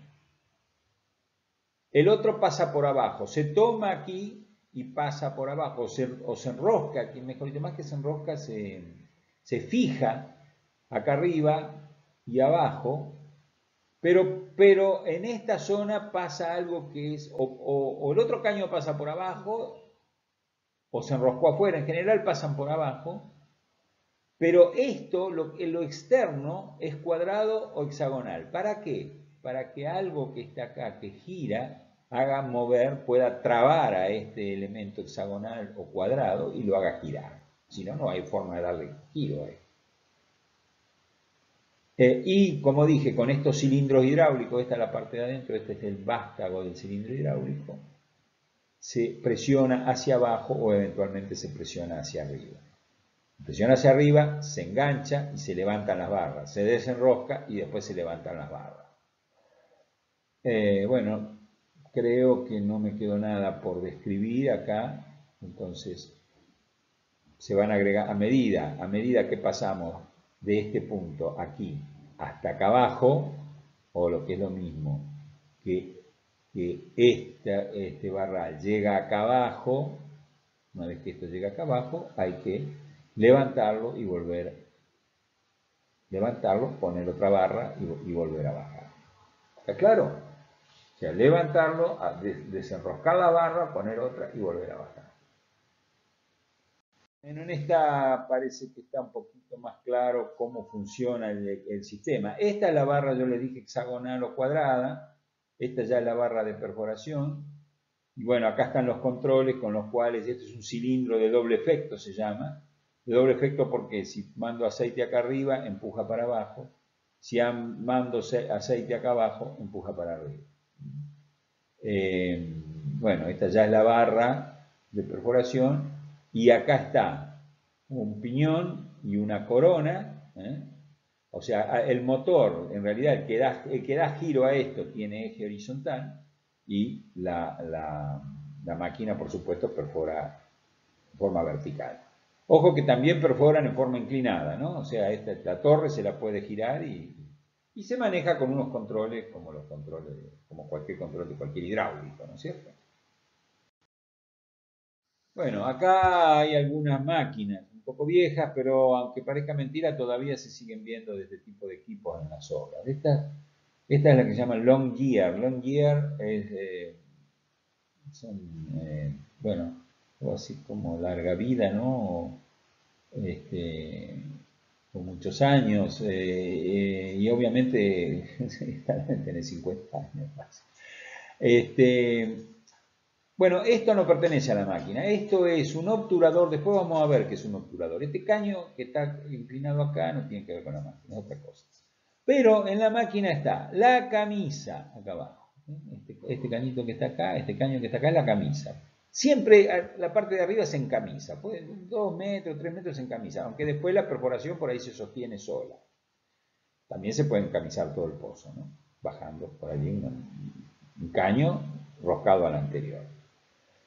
En este momento la máquina está abierta. Acá está el piñón, acá está la corona, acá está el motor con el cual se levanta el, cable que está arriba. Esta es otra máquina, pero muy parecida, pero bueno, tiene un cable. Esta es la 34 y esta es la 44. Es, esta es más chica. Con esta ya he visto perforada hasta 150 metros. acá están los cilindros. Esto está abierta. esto no está para funcionar. Se gira respecto a esta bisagra, se cierra y así se puede trabajar. Cuando se cierra se conecta la parte de abajo de esta barra con esta que es la barra de perforación y arriba hay otra también. O sea, abierta como está, esta también está abierta, ven que la, barra de perforación está aquí, obviamente en este momento no se puede perforar. Para perforar, ¿qué hay que hacer? Hay que cerrar esto, roscar aquí, roscar arriba y ahí estamos en condiciones de perforar. Cuando esto gira, esto rota. Pero, ¿vieron? ¿Se acuerdan la araña de hoy? Lo que dijimos, la válvula esa para atrás. Bueno, esta es la araña. ¿eh? Una llave Stilson cruzada, ¿eh? con, tomar al caño en forma lateral ya y se quiebra, se, se tuerce, se, produce una fricción aquí y esto no se mueve más. Es casi increíble esto, pero bueno, es así. Ah, increíble, no, es así.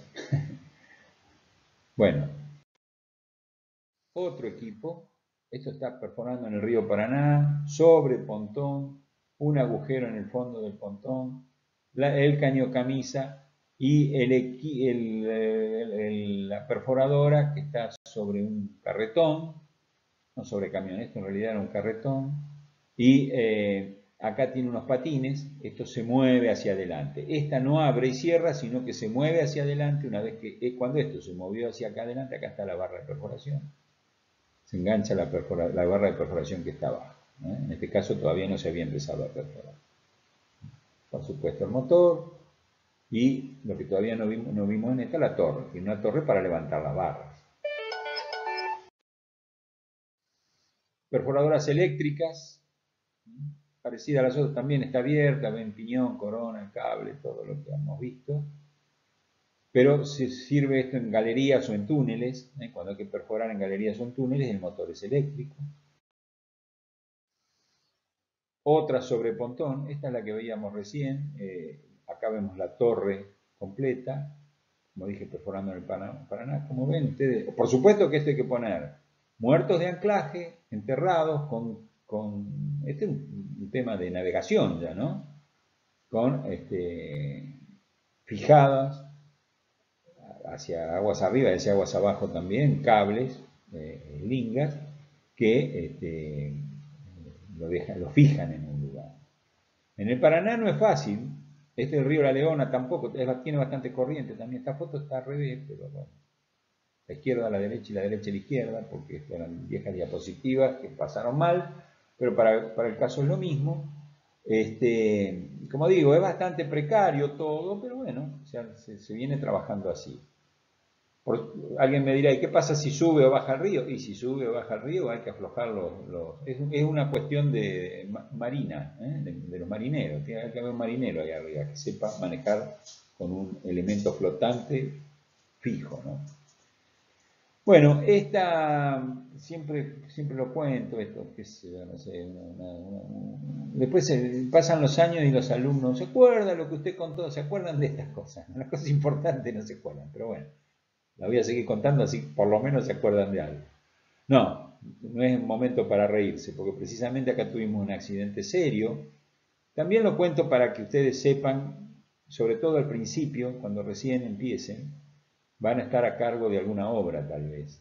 Y uno a veces no... Ahora, hace ya unos 20 años que estas fotos son más viejas. eh, que, el tema de la seguridad ha pasado a ser un tema más importante en las obras. Es lo que yo creo que lo que mejor he visto en mis 40 años de andar caminando por las obras, que ha mejorado el tema, de, el tema del medio ambiente y el tema de la seguridad. Lo hemos mejorado. Pero igual nunca viene mal tener alguna, alguna precaución, no, más que una precaución. Porque este tipo de problemas son los que nos traen más complicaciones a los ingenieros, que como dije por ahí, a los cinco años recibidos, dos años recibidos, ah, te tenés que hacer cargo de una, una campaña de investigación, ¿te animás? Sí, sí, si a mí Flores me lo explicó esto, sí, Flores te lo explicó, lo que te explicó Flores son pequeñas cosas que te permiten empezar, pero después hay que juntar mucha experiencia personal. Una que me tocó ver, si bien yo no estaba a cargo de esto, pero un tema bastante delicado. Esta es una perforadora eh, con, aire comprimido. Todos los motores, tenía ocho motores, después la vamos a ver, tenemos ocho motores con aire comprimido. Y por supuesto el, compresor no, entraba en el pontón, era muy pesado,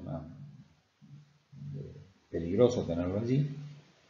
Entonces se lo fijaba a la costa, se lo anclaba, ¿eh? como ven acá, se lo anclaba, y eh, se dejaba el compresor en la, en la, costa. Se mandaba por aquí la manguera con eh, el aire comprimido. Bueno, la máquina trabajaba, en, en este lugar también se, acá en este punto, exactamente donde tengo el punto verde, se tenía el embarcadero de, las lanchas que cruzaban de un lado a otro, iban al pontón, ¿no? Pero había unos topógrafos también que tenían que cruzar a la otra margen y el lanchero, lo, como correspondía, los cruzó de, un lado a otro. Y bueno, el agua corre, ven acá tiene una correntada bastante importante para aquel lado, como dije, Río La Leona, da la vuelta a la foto, pero es Río La Leona. Entonces este, se subieron los dos topógrafos y el lanchero acá arriba, arriba de la lancha, la movieron para poder arrancar el, fuera de borda, la sacaron de, la zona baja y eh, empezó a darle al, arranque con, la, soguita esta en el motor fuera de borda y no le arrancó, no le arrancó y la corriente se lo empezó a llevar para este lado y en un momento se chocaron contra esta, esta esta, eh, eh, línea, digamos, de, aire comprimido y un cable de acero. Entonces, bueno, este, se dieron vuelta, eh, la lancha se dio vuelta, era un semirrígido, y bueno, quedaron los tres agarraditos del,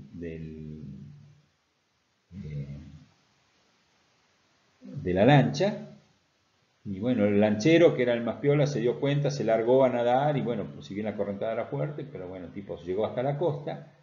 Y los otros se, los vio, o sea, hay una curva en el río, se los vio agarraditos del, borde de la lancha. Yo siempre tuve la, idea de que acá tenemos agua a 4 grados. Teníamos todo, siempre decían, no, que el agua acá está a 4 grados, no sé quién la midió a 4 grados. Ahora, unos 100 kilómetros abajo, el agua estaba ahora a 16 grados. Ahora la medimos con las obras estas de Santa Cruz. No sé, entre 4 y 16, ¿dónde está? 4 estarán en el lago, 16 estará en el río Santa Cruz y acá, no sé, capaz que esté 10 grados. Y bueno, en poco tiempo los tipos desaparecieron, ¿no? Así que, digamos, la, la, anécdota es no solamente para la geotecnia, para todos, cuando vayan y sean jóvenes y le dan, le dan la responsabilidad de estar a cargo de un grupo de gente y, bueno, estas son las cosas más importantes que toda la técnica que yo les puedo enseñar. Bueno, otra perforadora, para que vean que hay otros distintos tipos, más chicas, más grandes. Me dice, eh, pero estas cómo se mueven. ya vamos a ver después cómo se mueven. Pero fíjense, están sobre patines. Había una con, sobre, sobre neumático, pero por supuesto que el neumático se levantaba para perforar, porque si no vibra mucho, ¿no? Hay que ponerle patas fijas. Acá vemos una, esto, también en el mismo lugar este donde se murieron estas personas, eh, no hay agua, una pileta, ¿para qué? ¿Para bañarse al mediodía? No, para traer agua del río, las cajas de testigos, las barras, las perforadoras, y la leña, nunca faltante, o para calentarse o para el asadito del mediodía, ¿no? el churrasquito del mediodía.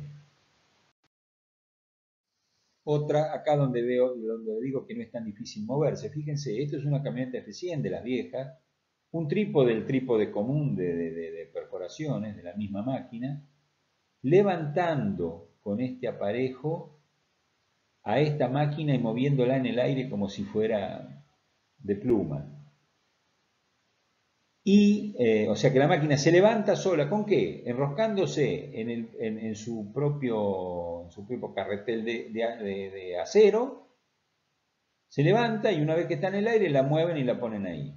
Y lo mismo pasa cuando tiene que, hay que subirlo a un cerro y se la ata una piedra, se fija esto, una, y después el mismo aparato tiene un malacate ahí que tira una barbaridad, ¿no?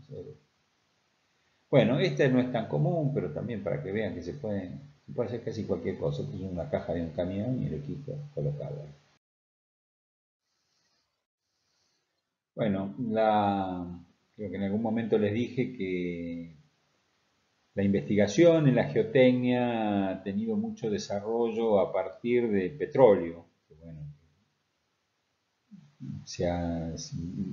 muchas técnicas que, hemos, que estamos usando ahora, inclusive sísmicas que ya vamos a ver en, la, en el siguiente siguiente bloque, se han desarrollado más en el petróleo, eh, pero ellos, claro, perforan mil metros o más. Nosotros perforamos a lo sumo 150 metros con este tipo de equipo y para una investigación yo no he visto perforaciones más grandes que esa. 180 creo que es la que es más grande más larga.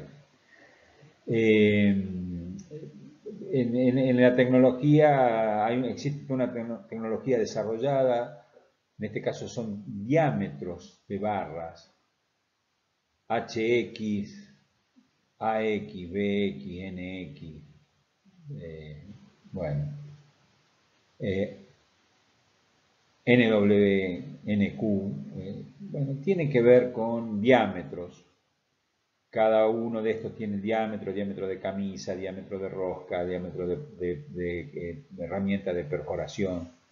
Está todo desarrollado de manera tal que un tipo está en el medio del campo y necesita algo, que mandame una NX, para tal equipo y ya no tiene que andar diciendo cuál, cuál es su diámetro, su, especificación.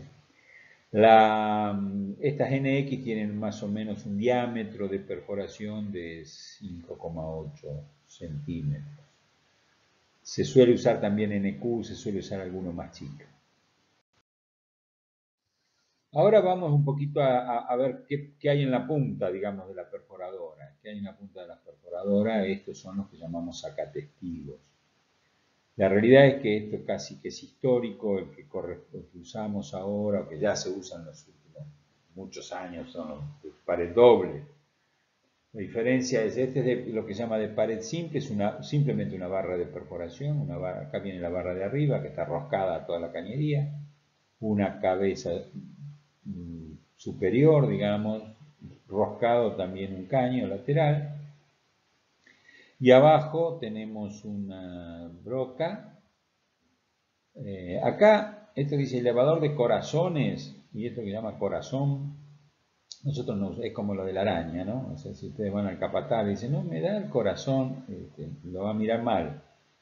Eh, estos son eh, núcleos o muestras o testigos. Lo más usual en rocas es hablar de testigos. Y estos son como unas cuñas, después vamos a ver una foto, se entiende mejor, pero son como unas cuñas que cuando uno va perforando, esta cuña se mete para adentro y cuando quiere cortar, quiere levantar a la roca, bueno, esto la, la aprisiona y quiere bajar, el diámetro se reduce, se, aprisiona acá y la roca termina cortándose. Eh, obviamente todo este caño gira, todo este borde gira, todo este, este contacto entre esto y esto gira y la broca también gira. Acá entra agua, que viene por acá, pasa por acá y eh, eh, entre estas, eh, estas, estas cuñas están perforadas como para dejar pasar agua también y entonces el agua sigue por acá y vuelve por aquí. ¿Para qué sirve el agua? Sirve para, para lubricar, para enfriar, porque si no imagínense esto, no se puede perforar sin, enfriarlo, sin pasarle agua, pasa lo mismo cuando usamos una caladora de pavimento, y para levantar el detrito, o sea, todo el detrito sale por aquí y se va para arriba, ¿eh? todos los pedacitos rotos se van para arriba. ¿Qué problema tiene esto? Bueno, eh, siempre estas herramientas tienen alguna excentricidad y esto gira un poco, vibra. Bueno, si la roca es muy eh, lábil, es muy friable, digamos que se, desmenuza, se desgrana o se rompe, este, esta herramienta es muy, muy crítica, muy exigente, digamos. El agua pasando por acá y además esto vibrando aquí, este, puede no quedar nada de muestra. ¿no? Entonces este que era de pared simple, ya ha sido reemplazado en todos lados por uno de pared doble, y el de pared doble eh, consiste en lo mismo de arriba, algo que viene agua por aquí, el agua sale por acá, pero aquí tiene un rodamiento, ¿no? un rulemán que hace que este otro caño, hay un caño interior, este caño no se mueva. Entonces lo de afuera sigue eh, rotando como antes. O sea, esto rota como antes, la broca rota como antes, las cuñas rotan como antes y se quedan No, perdón, las cuñas en este caso no, no rotan. En este, hay otros modelos que sí, pero en este no. El agua sale por acá y ahora el agua pasa al lado del testigo trámite muy corto y vuelve por aquí. Y este caño que dije interior no rota, nunca, nunca tenemos agua en contacto, nunca tenemos un caño girando y, bueno, entonces a esto que no se llama cojinete, sino que se llama, perdón, y esto no se llama corazón, eh, a esto que se llama la muestra o el testigo, el testigo queda atrapado aquí adentro y no ha tenido la alteración de las paredes del, sacamuestra o sacatestigo girando y el agua pasando.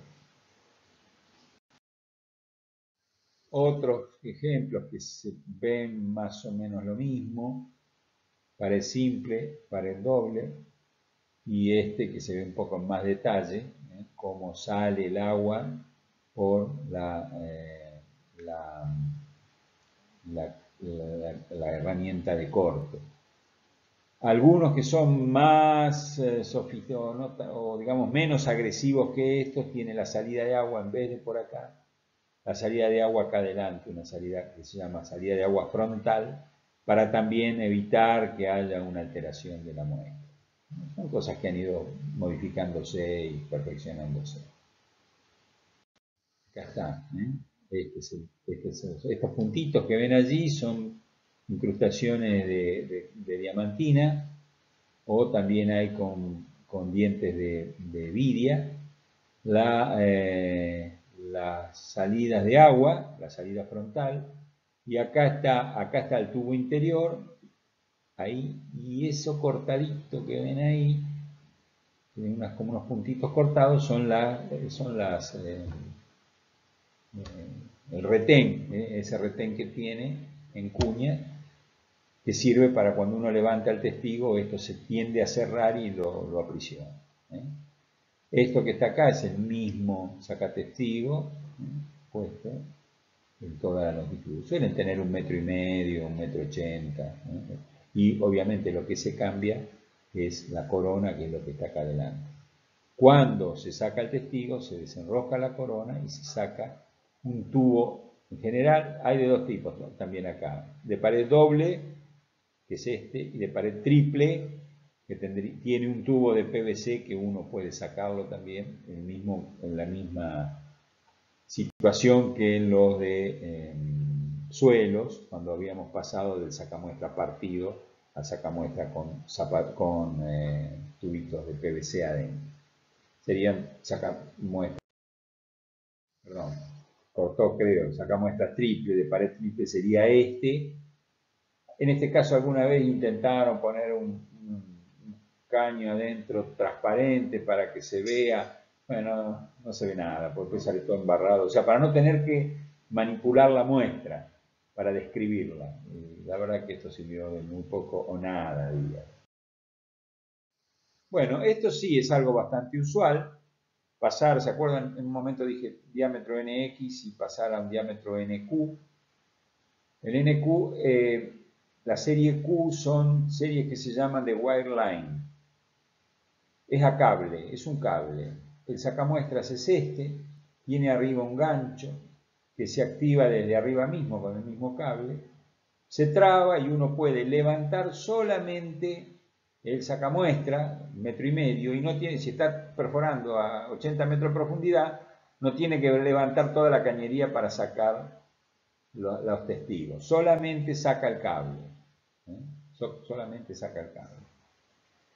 Eh, bueno, con esto se gana de que uno no tiene que hacer tantas maniobras, no les dije, pero maniobra se le llama eso, subir y bajar la cañería, se sacar el, saca, el sacamuestra, el eh, se lo llama maniobra. Está haciendo la maniobra, cuando está haciendo la maniobra está haciendo eso. En las eh, investigaciones donde, donde hay una presa, por ejemplo, que también allí se se trata de sacar muestras de eh, ensayos, hacer ensayos de bouillon, ensayos de agua, se obtura cada 5 metros y se manda agua a presión. Entonces cada 5 metros hay que bajar el obturador y entonces se gana algo con el, con el sistema Wellline, pero menos. ¿eh? Ya uno no levanta todas las maniobras, todas las carreras, también se llama carrera, una, eh, un metro y medio, eso es una carrera. Después levanto, bajo, hago otro metro y medio, otros dos metros, es otra carrera. Entonces, sin el wireline tengo que, todas las carreras tengo que eh, subir todas las barras. Con el wireline las muestras se sacan sin subir todas las barras, pero cuando tengo que hacer un ensayo de agua, que suele ser cada 5 metros, a veces se hacen cada 3, hay que levantar todo igual. O sea que la ventaja del Wireline se reduce.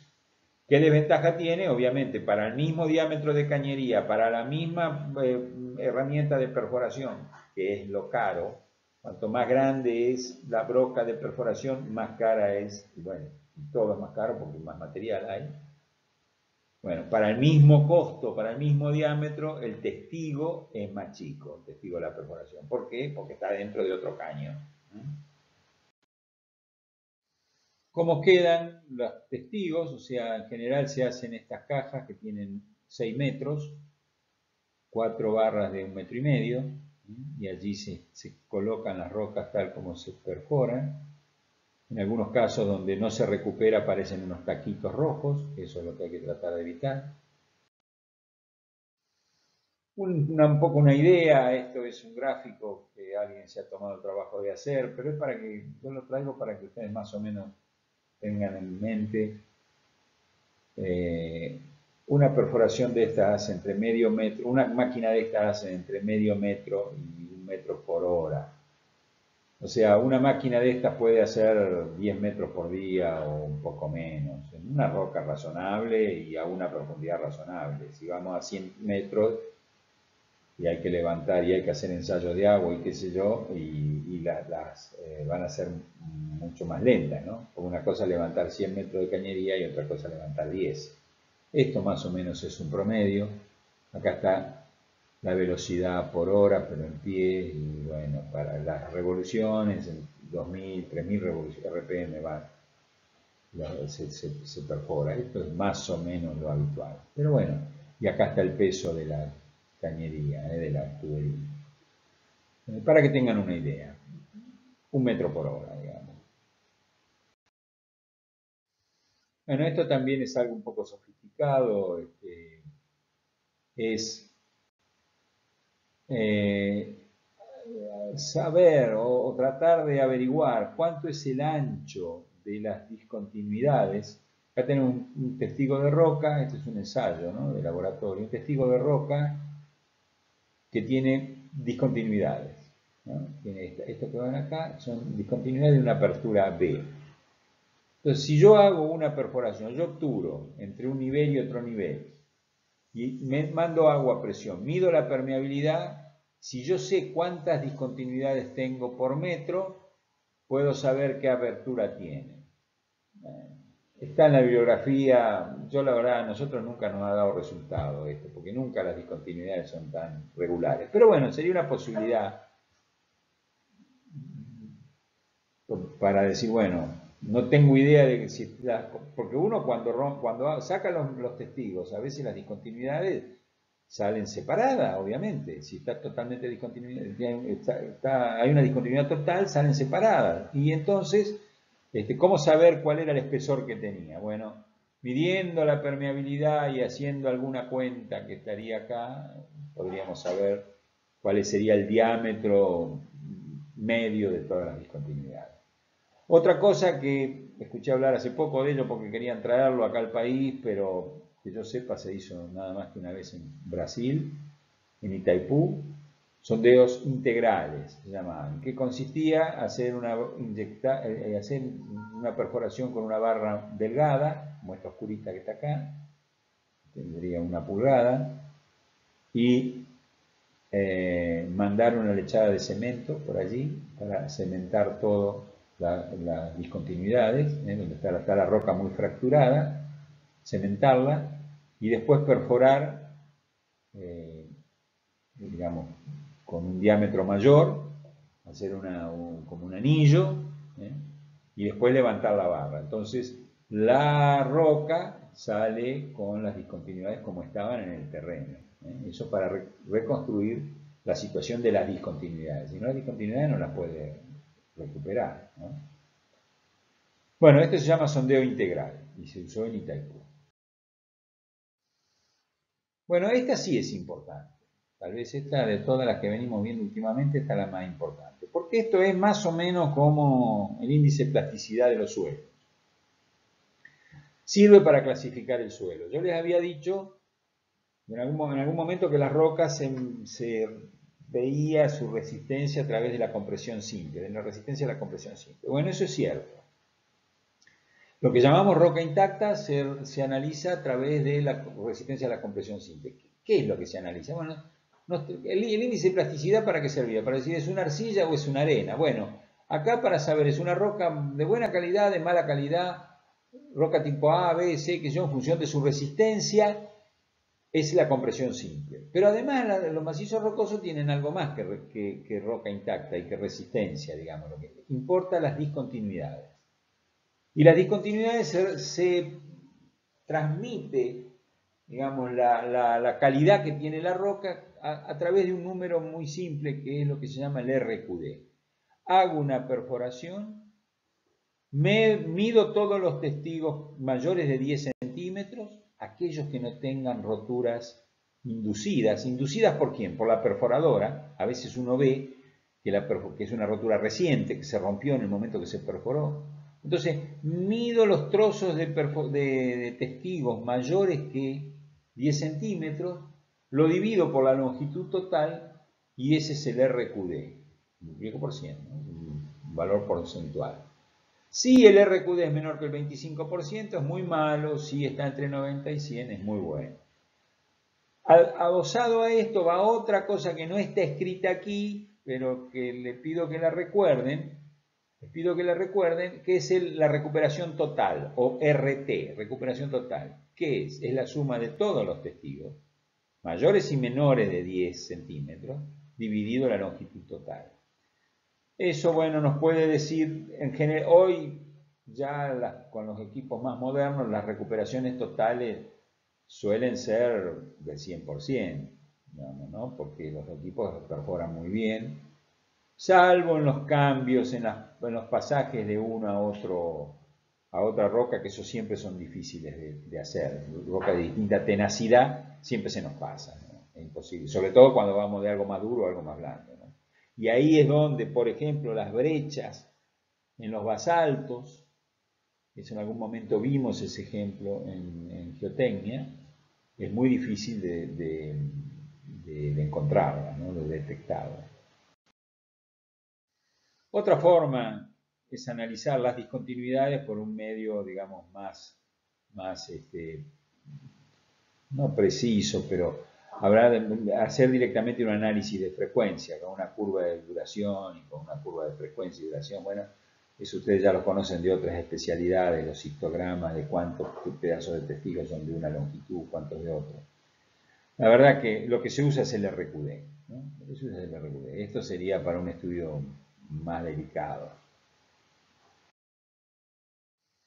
Bueno, tal vez esta también es de las más importantes, tal vez la más importante de las transparencias en este tramo, porque es el resultado de la perforación. Si bien las perforaciones son cosas de ingeniería, en muchos casos de ingeniería mecánica, tiene, uno tiene que saber de, mecánica para manejar todos esos fierros, para, para entenderlos. Pero en la investigación mediante perforaciones, sobre todo en roca, no en suelo, en roca. En suelo con el SPT andamos los ingenieros, pero en rocas suelen andar los geólogos. Es más, muchas reparticiones pedían que los geólogos sean los que se dediquen a obtener las muestras. Y los geólogos nos sacan una gran ventaja, y que lo que ellos saben, es en esta columna.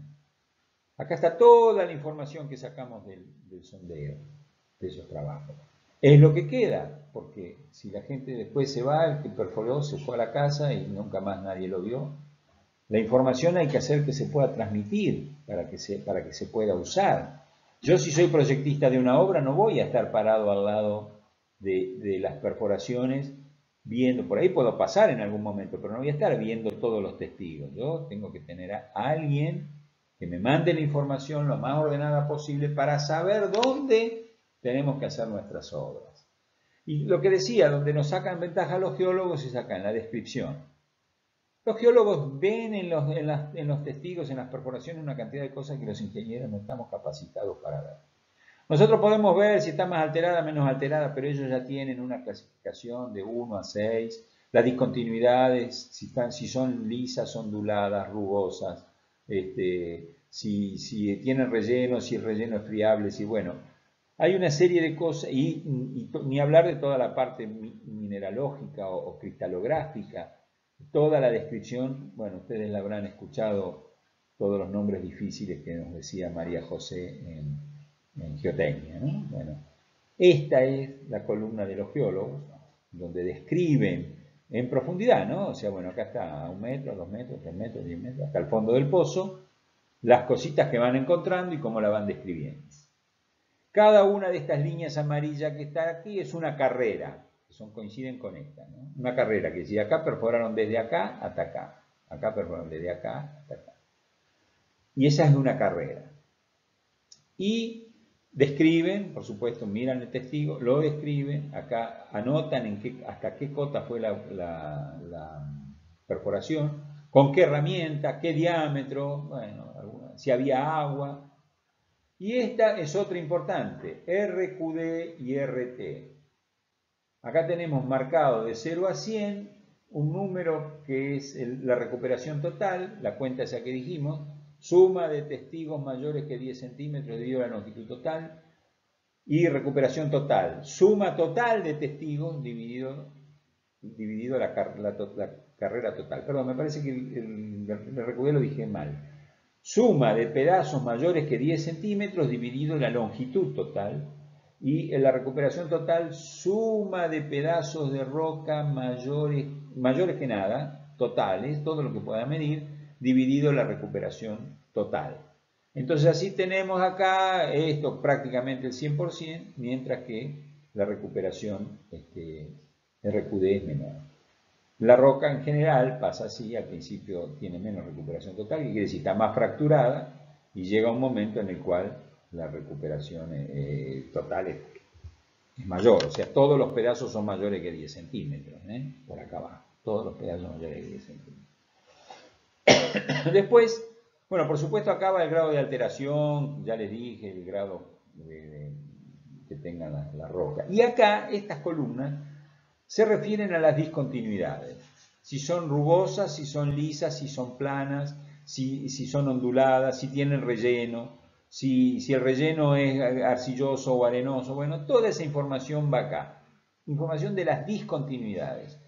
Y esta otra cosa es que es importante, después lo vamos a ver mejor, pero cada 5 metros, ya en algún momento se nos mencioné, cada 5 metros se pone un obturador en la perforación, o dos, si se va de arriba hacia abajo o de abajo hacia arriba, y en, en, ese tramo, entre este punto y este punto, se manda presión y se mide caudal, en subida y en bajada. Y esto es con escalones, ¿no? En escalones de presión cada vez mayores y caudales obviamente van a dar cada vez mayores, se sube y se baja, y eso es lo que se llama el ensayo Lugeon. Lugeon. Bueno, después hay otras, otros datos, la cota de boca de pozo, las, este, coordenadas, eh, bueno, cuándo se empezó, quién la hizo, quién es responsable, quién la inspeccionó. Y acá la simbología, en este caso se puso la simbología de, de los materiales que tenemos en esta columna. Bueno, ¿por qué es muy importante esto? Porque esta es la información que recibimos los ingenieros. Los ingenieros recibimos esto. No somos, en general, no hay ingenieros responsables de generar esta información, sí de usarla. Entonces tenemos que saber qué es lo que tiene y tenemos que saber, tenemos que saber de dónde sale. Bueno, esto se usó también en el, país del siglo pasado, se usó, pero ahora no lo volví a usar en este siglo.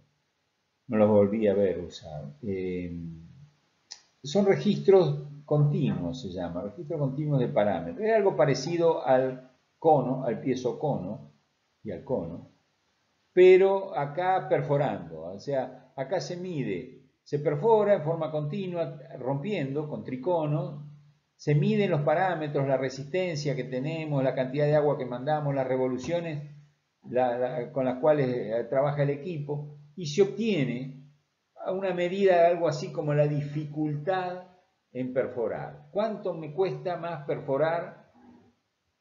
Y cuanto más me cueste perforar, porque la velocidad de avance sea más chica, bueno, es porque la roca es mejor. Esto se usó en Piedra del Águila. Después, que yo sepa, no se volvió a usar en el país. Sí se usa mucho esto en minería, por ejemplo. Minería, como dije, también mucho de esto viene del petróleo y también mucho viene de la minería.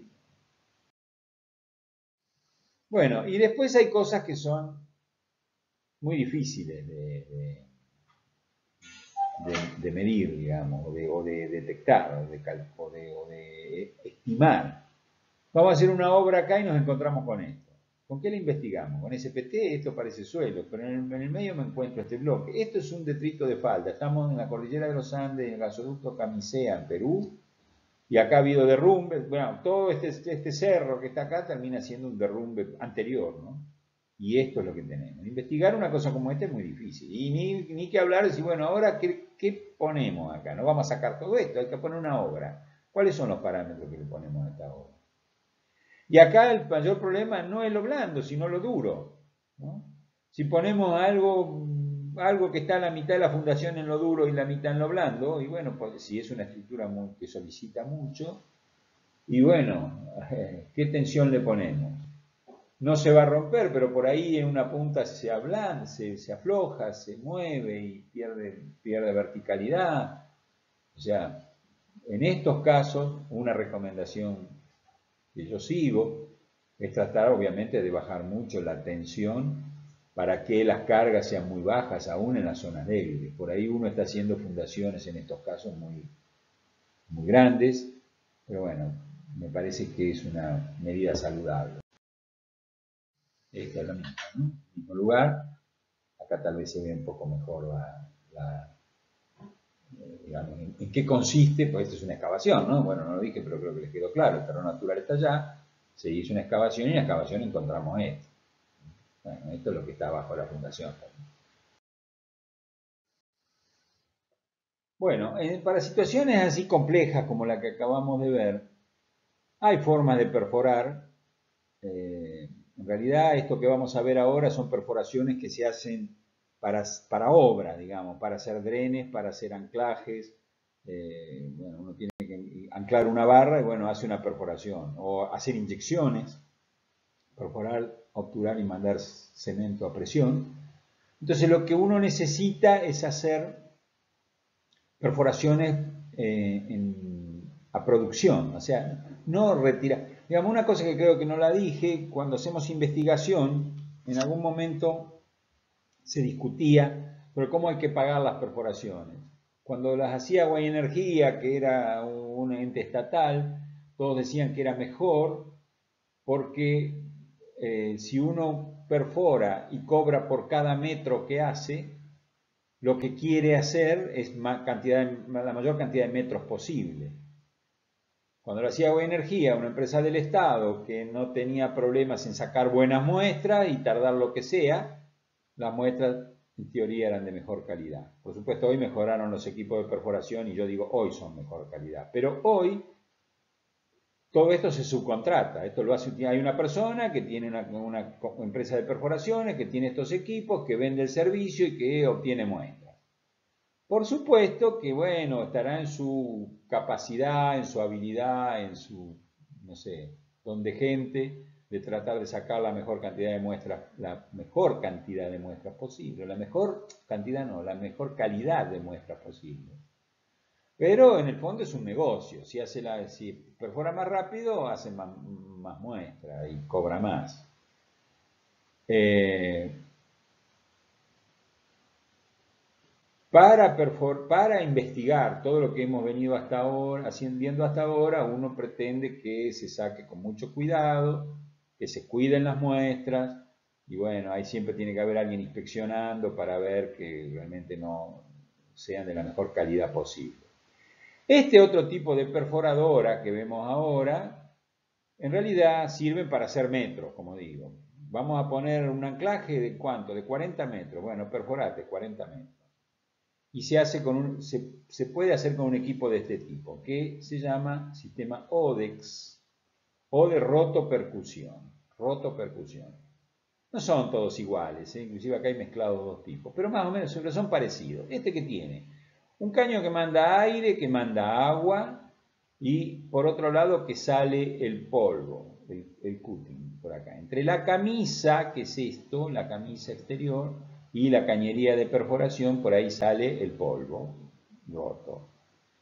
Por, en este, este diámetro, esto debe tiene un diámetro de muestra de 6 pulgadas, debe, tener unas 10 pulgadas el, diámetro, un poquito menos. Eh, entonces se baja el caño por adentro, el caño este tiene una, un elemento excéntrico.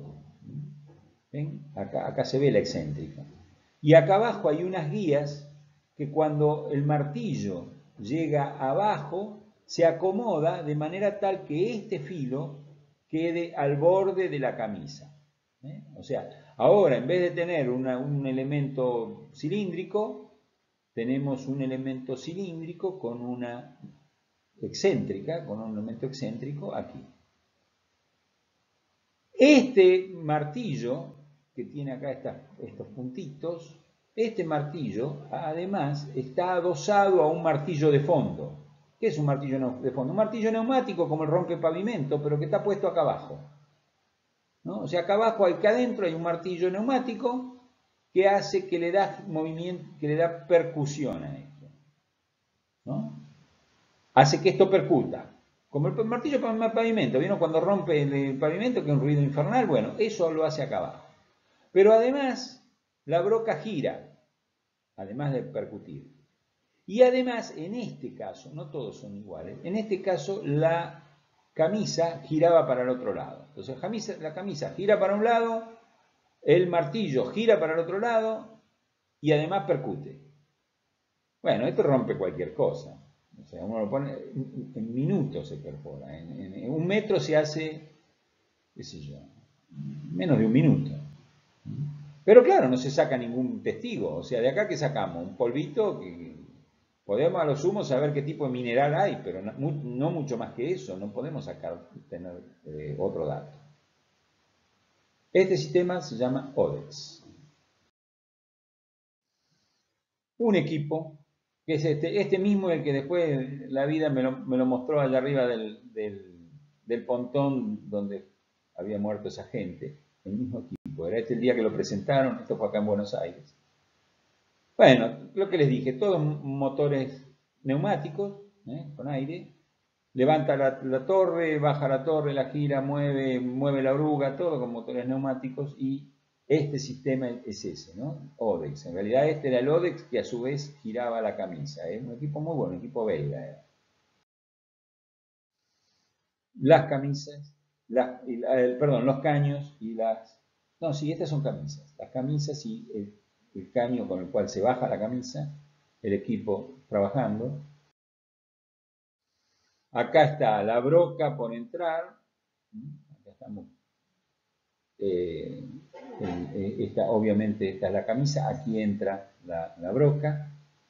¿Y qué se hacía en este caso para extraer aluvión, para sacar aluvión? Se sacaba esta broca que tenía este martillo de fondo y abajo de otro martillo de fondo se ponía un, como un terzagui, como, un, como, el, la zapata del SPT, pero esto tenía entre 4 y 6 pulgadas de diámetro, era 10 y 15 centímetros tenía, o tiene.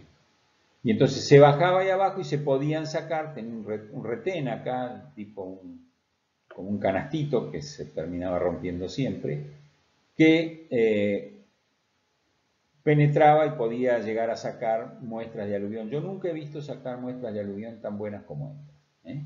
Con hasta 2 pulgadas, o sea, 5 centímetros, 7 centímetros de grava, 5 centímetros de grava se podía sacar.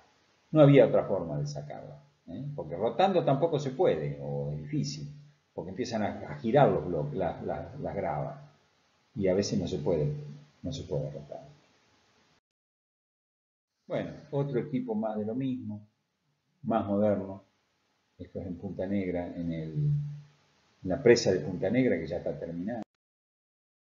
Otra más donde también se ven las camisas, las perforadoras. ¿eh? Esto es un poco para que tengan idea de la, movilización que hay que hacer para esto. Otro equipo de este tienen un video, un videito, esto es en Santiago del Estero, no, perdón, en Jujuy, en Jujuy.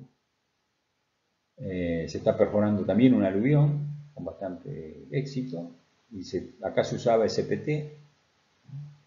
Este tipo, ¿qué es lo que está teniendo? Después lo van a ver en el video, tiene para que esta, manguera no se le enrosque, ¿no? Porque como siempre, esto está medio durita, entonces lo tengo que tener porque si no se empieza a enroscar alrededor de la, del actor. Bueno, esto es algo distinto. En general, es una perforadora, como ustedes ven, o sea, con un tubo helicoidal, con un orificio interno, puede alojar una muestra. Yo la he visto usar, me ha tocado ver usarla y trabajar con muestras de esto cuando se trabaja en medio ambiente, en estudios ambientales, que hay que ver si hay contaminación de, petróleo, de nafta, qué sé yo, hay que, no se puede usar agua porque obviamente el agua modifica la concentración de esos contaminantes. Y bueno, este, tipo, este equipo en seco es el que suele usarse. Por supuesto que también con esto se puede sacar una muestra de las nuestras, O sea, hay un helicoide que va sacando el suelo con el cual podemos hacer el límite líquido, lo que sea, y después en el medio bajamos, bajamos un, sacamuestra de, como, el, como el SPT y, hacemos un SPT allá adentro. Bueno, ahora vamos a ver algunos ensayos que se hacen en las perforaciones, obviamente que sirven para hacer investigación. Vamos a, ver específicamente los ensayos de toma de agua, de permeabilidad. Eh, o sea, ustedes ya conocen de geotecnia el significado de la letra K. La K mayúscula es la permeabilidad y eso es un parámetro que necesitamos para nuestros análisis. Eh, vamos a empezar con el ensayo que se llama Lugión, Lugión. Lullón eh, eh, es un ensayo que se desarrolló para las rocas, específicamente las rocas son fisuradas, tienen fisuras, y entonces el ensayo estrictamente, si bien uno después puede hacer una, transformación, el, ensayo estrictamente no es para medir, no mide permeabilidad K, mide la unidad Lullón. Y después se puede pasar de la unidad Luyón a la permeabilidad. ¿Qué sería la permeabilidad? Es la permeabilidad equivalente de un macizo rocoso que tiene unas fisuras tales que son equivalentes a una determinada permeabilidad. Pero hay que tener cuidado porque el concepto es un poco distinto. El ensayo Lullón mide la, cantidad de agua que ingresa en un macizo rocoso que está básicamente fisurado por, la cantidad de agua que hay por, minuto, ¿no es cierto? Por, por tiempo a una determinada presión. la, permeabilidad sería otra cosa, sería medir, la, digamos, la relación entre la velocidad y, y el gradiente, ¿no? O sea que sería de un medio poroso homogéneo. En cambio, esto es de un medio fisurado. O sea, uno hace una perforación, deja, como se ve acá, se hace, una obturación, se obtura con, básicamente es como un globo, algo, una, una, pelota inflada. En, este caso se, se, está haciendo en tramos descendentes, que se llama, que se, no se pone un obturador acá abajo, sino que se reacciona, digamos, o se llena el pozo hasta el fondo de la perforación. También se podría hacer pasándolos, perforando más y poniendo doble obturador, uno abajo y uno arriba. Y después se manda agua a presión a esta cavidad. Y se ve cuánta agua entra para la presión que uno pone. Eh, como dije, es para roca y se determina lo que se llama la unidad Luyon, que es la absorción en litros por metro y por minuto inyectado a una presión constante de 1 megapascal, o sea 10 kilos por centímetro cuadrado, manteniéndolo durante un tiempo de 10 minutos. Entonces son la cantidad de litros por metro por minuto a 10 kilos de presión por centímetro cuadrado o 1 megapascal y manteniéndolo durante un tiempo de 10 minutos. El, ensayo es, simple, esto es una bomba, eh, acá hay un caudal, bueno, son válvulas, acá hay una válvula, otra válvula. Este es un caudalímetro que deja medir los litros por minuto que pasan. Acá está el manómetro para llegar a esos 10 kilos, 10 kilos o, 1 megapascal. Si bien el ensayo se va haciendo eh, escalonadamente, ¿no? Primero 2 kilos y medio, 5, después 10. Eh, la realidad es que lo la presión, el, incremento de presión que se pone, los 10 kilos tienen que estar desde este nivel, el nivel de agua, este es el nivel freático, entonces los 10 kilos se tendría que medir desde aquí para arriba, o sea, es el incremento de presiones. En este punto yo tengo un incremento de presiones adentro respecto a afuera, igual a la cantidad de presión que tengo arriba de este nivel, porque la parte de abajo de esta columna se equipara se equilibra con esta de afuera, ¿no es cierto? Entonces, los 10 kilos por centímetro cuadrado tienen que estar de acá para arriba, medidos como la altura de agua, la altura de agua hasta, el manómetro, más el caudal, más la presión que tiene el manómetro.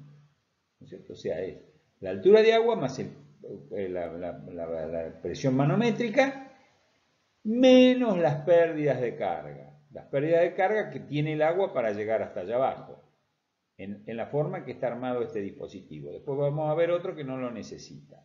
Y esas pérdidas de carga, ¿qué se hace? Bueno, para el caudal que uno más o menos tiene, se puede eh, deducir, digamos, la presión, que digamos, lo que pierde el agua en llegar desde acá arriba hasta acá abajo. En general es despreciable, pero bueno, se puede calcular. Acaba el caudalímetro, y entonces, como dije, se van subiendo presiones, primero una presión, se ponen dos kilos y medio acá adentro respecto a este nivel y se hace entrar agua. Después este, a 5 kilos, a 10 kilos y después se baja.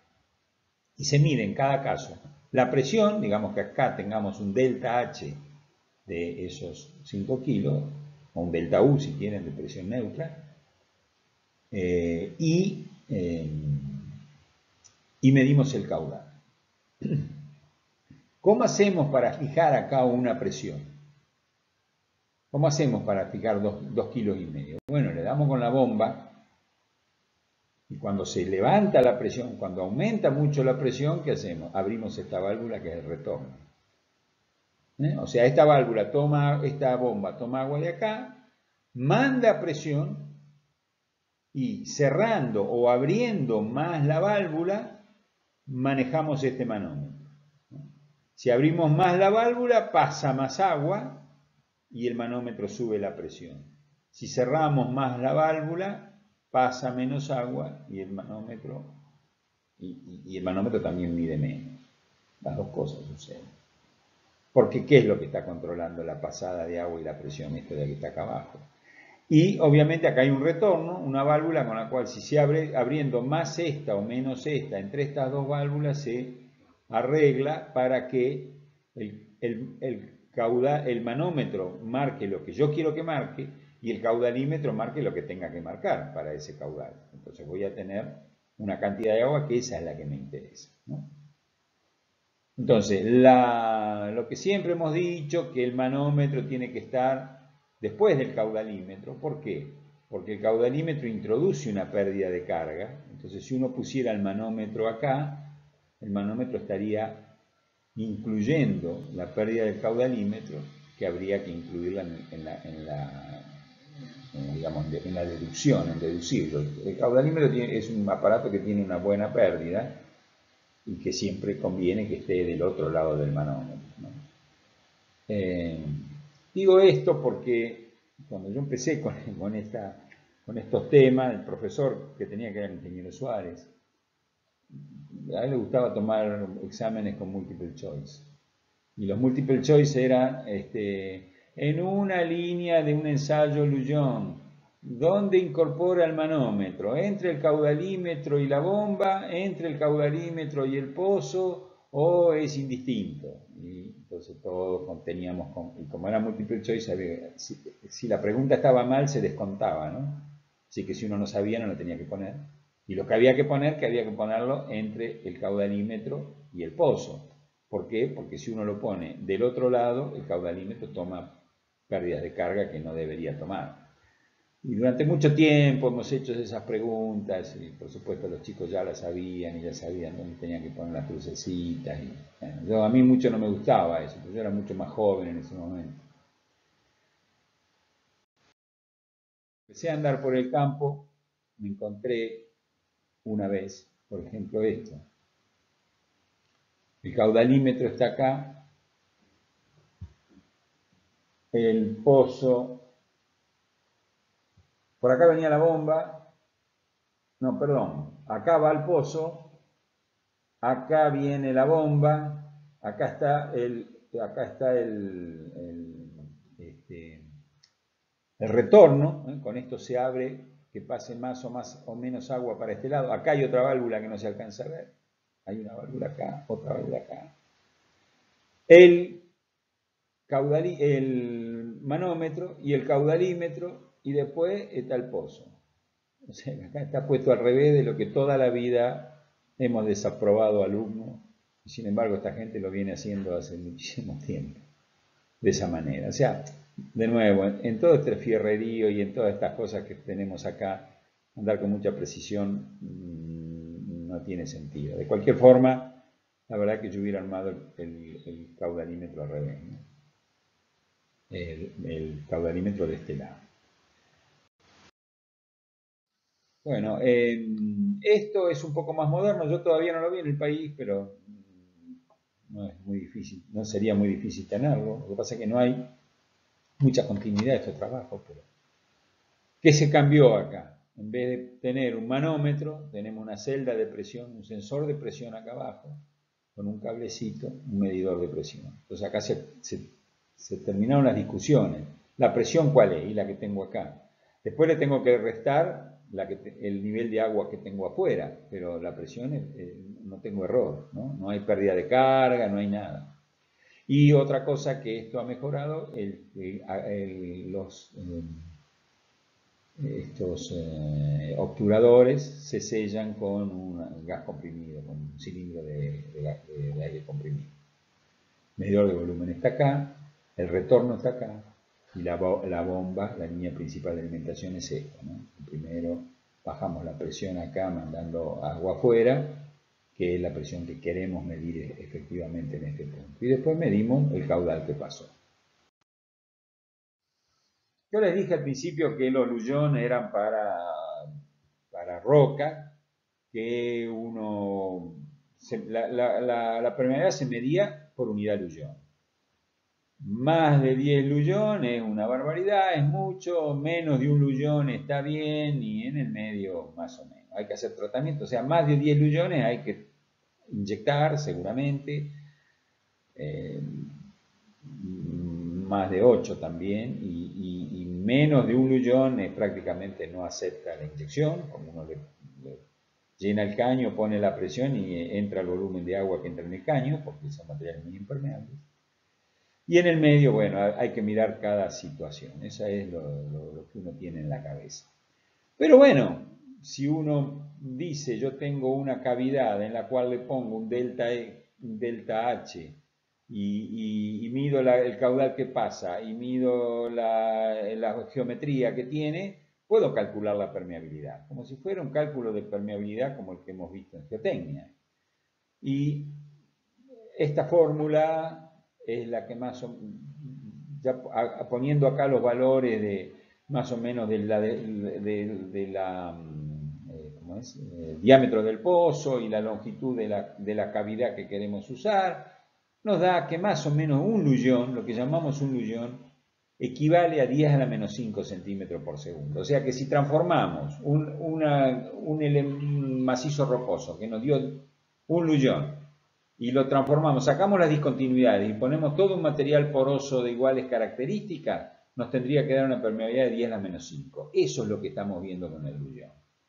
Los luyones, como dijimos, se, hacía hasta una profundidad, eh, una, mm, eh, presión máxima, que en el ensayo dice 10 kilos por centímetro cuadrado, pero si estamos con bajas tapadas, sea, a, bajas profundidades, esa, esa presión se limita porque si no se puede fracturar la roca.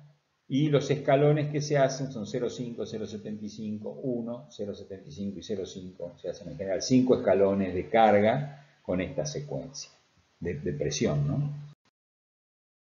Una curva, un, ensayo, este es un ensayo real, este, hecho en la obra esta de la Leona. Eh, bueno, acá está cómo se se obtura y esto es lo que da la curva. La curva es presión efectiva. En realidad, esta es una discusión que tenemos siempre con los geólogos, ellos le dicen presión efectiva. Presión efectiva quiere decir la que está metida acá adentro, ya, descontado todo lo demás. Y nos confunde a nosotros, porque para nosotros la presión efectiva es otra cosa, sobre todo si tenemos presión neutra cerca. ¿no? Para nosotros la presión efectiva es la presión del agua. Para esto, la presión efectiva es el incremento de presiones que tenemos en el centro del tramo, el incremento de, presiones neutras que tenemos respecto al nivel de agua libre. A eso llaman acá en este, en este gráfico presión efectiva. La, y la curva es esta, ¿no? O sea, la fecha, la hora, los escalones de carga, este, primero los metros ensayados, acá se ensayó 5 metros entre, el, obturador superior y el fondo de la perforación, después la presión manométrica que tenemos acá, que no es la misma que la presión efectiva, después está la presión calculada, la presión efectiva es esta, la calculada, acá no se descontaban las, eh, las pérdidas de carga, y después la cantidad de litros total que toma, la cantidad de litros que toma en 10 minutos, o sea, ¿cuánto duró el ensayo? 10 minutos, en 10 minutos ¿cuánto tomó? Acá 220, y la cantidad de litros por metro, divido los litros por la longitud, por la longitud de la, eh, que ha sido ensayada. Se desprecian los extremos, o el extremo en este caso. Y, eso, la, eh, la cantidad de litros por metro minuto para 10 kilos de presión, que es esta, me da 2,9, que este es el ensayo.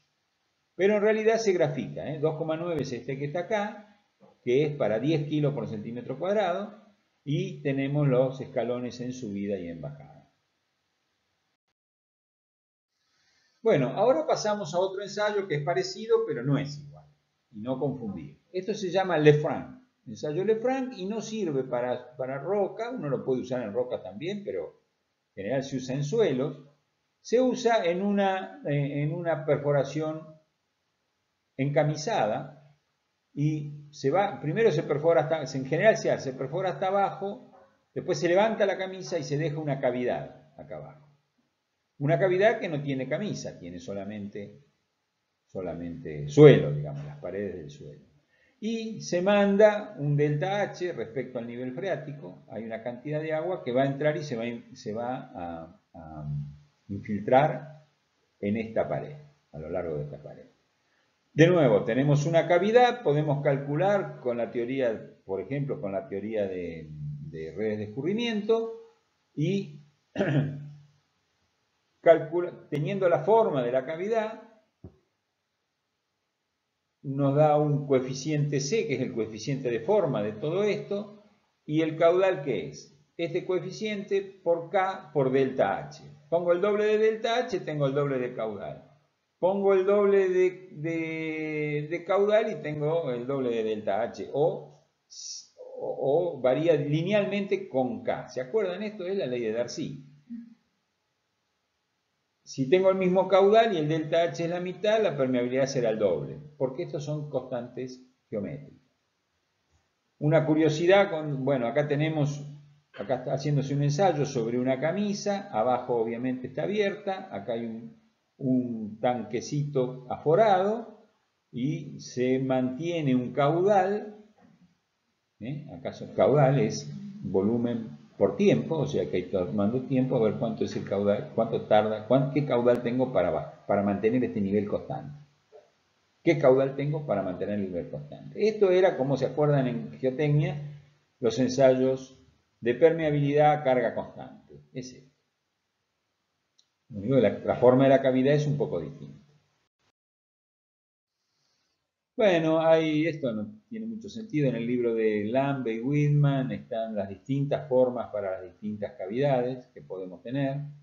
Si hay materiales impermeables cerca, si no lo hay. Y en este caso las fórmulas. Las fórmulas que, bueno, por supuesto no tienen, dependen de la geometría y por supuesto de la permeabilidad depende de H y de la geometría, para los distintos casos anteriores. Este es un ensayo de obra, acá está el tanque, está forado, acá hay un una manguerita transparente y entonces un tanque de un metro cúbico y se van dejando pasar agua, acá era con dos mangueras eh, y se veía qué caudal bajaba en, en qué tiempo, o sea, qué volumen, qué volumen en qué tiempo. La curiosidad de esto es que tenemos una manguera que tira en forma constante y la otra es el regule, ¿no? Regule fino. Fíjense, es una manguerita doblada, ¿no? La doblamos más, la doblamos menos para dejar esto constante. No siempre, no todo es este, sofisticado. Bueno, finalmente eh, tenemos esto ni siquiera son cuestiones para perforar, aunque sí, eh, lo hemos usado perforando. Estas son perforadoras, estamos hablando de perforadoras, entonces ya que está puse creo que dos transparencias más o tres. Es un equipo neumático, martillo neumático, tiene una, manda agua para limpiar la, broca, manda aire con el cual hace funcionar el, martillo percutor, ¿eh? como, como, es el martillo rompe pavimento, y acá también manda aire a presión para apoyar esta pata. Esto es como una pata que tiene, que uno la, extiende más para ponerlo esto más parado o más agachado, o sea, para que el operador no esté sosteniendo esto solo. Es una pata de sostenimiento, digamos esta, ¿no? Que, que uno la larga o la corta con la manguera hidráulica. Como dije, hay otra de agua y una de aire que hacen funcionar el martillo neumático. ¿Dónde anda el martillo neumático? Acá. ¿Se acuerdan en la otra? En los otros equipos había un martillo neumático en el fondo de la perforación. No, acá está arriba y sale una barrita en la punta tiene un, tiene un elemento con vidia, por ahí sale el agua también, puede salir hay agua, puede salir aire, y este, esto percute y gira, percute y gira. Por supuesto que esto no puede llegar a mucho más de uno, qué sé yo, no sé si 6 metros, yo he visto de 4 metros, 6 metros, no sé si hay, hay otro tipo de, equipos más grandes, iguales a esto, pero así, en forma manual, agarrado por un operario, este, creo que hasta 4 metros se puede llegar, parece que no, mucho más. ¿Y, qué, ¿Y para qué nos sirve esto? Bueno, como investigar, no saber si está más duro o más blando, digamos, ese puede ser. Esto es más para también, para hacer anclajes, para hacer drenes, para un, es un equipo más de obra, para hacer metros de perforación, no para investigar. Pero bueno, como estábamos hablando de perforaciones, lo, mostramos. Ejemplo, esto es muy viejo, pasó como verán acá ninguno tiene casco. Este, este es un equipo igual al anterior, lo único con motor eh, a explosión. ¿No? estamos en una galería, no tenemos energía, no tenemos aire comprimido, es un motor a explosión. Esto es, una, esto es en la zona próxima a Puerto Madryn, se estaba estudiando una línea de transmisión. ¿Se acuerdan ustedes? Vimos las líneas de 500 que eran tomadas con unos anclajes, que había que inyectarlos en la roca. Eh, perdón, nosotros vimos en suelos que era enterrar una placa y con eso tomábamos el empuje pasivo. En roca lo que se puede hacer es, hacer una perforación, poner una barra, inyectarla y que funcione como un anclaje en roca, digamos. la fuerza del, del, tensor de la torre tira directamente de la barra que está en una perforación inyectada con, adherida, digamos, a la perforación con lechada de cemento. Acá la, duda era dónde empezaba la roca que estaba bien. Siempre hay roca alterada, había unas zonas con, depósitos de suelos, depósitos pedemontanos, que eh, eh, son gravas y, arena, en algunos casos cementados. Entonces no se sabía bien dónde estaba la, la, roca, la roca donde se podía empezar a, a poner el anclaje. Y bueno, con este aparatito, que es un motor a explosión que hace lo mismo que el otro, vibra, con, con una, con una, herramienta que también en este caso no tenía más de 5 metros.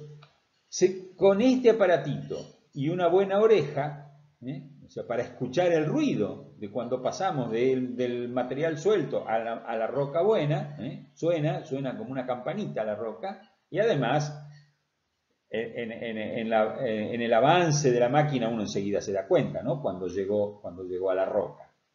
Y entonces así se podía saber a cuántos metros empezaba el anclaje. Es un, relevamiento, es un relevamiento. no es necesario que el relevamiento, que, la investigación termine en un, ensayo triaxial. No, la investigación es esto también. Tal vez esto sea más importante que lo otro. Acá está, acá bueno, lo están, están empezando a colocar y es la forma de... También esto es roto percutor.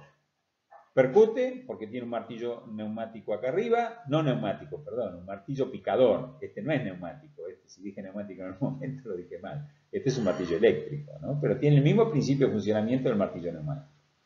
Este, y eh, en cuanto a que vibra, ¿no? Y gira.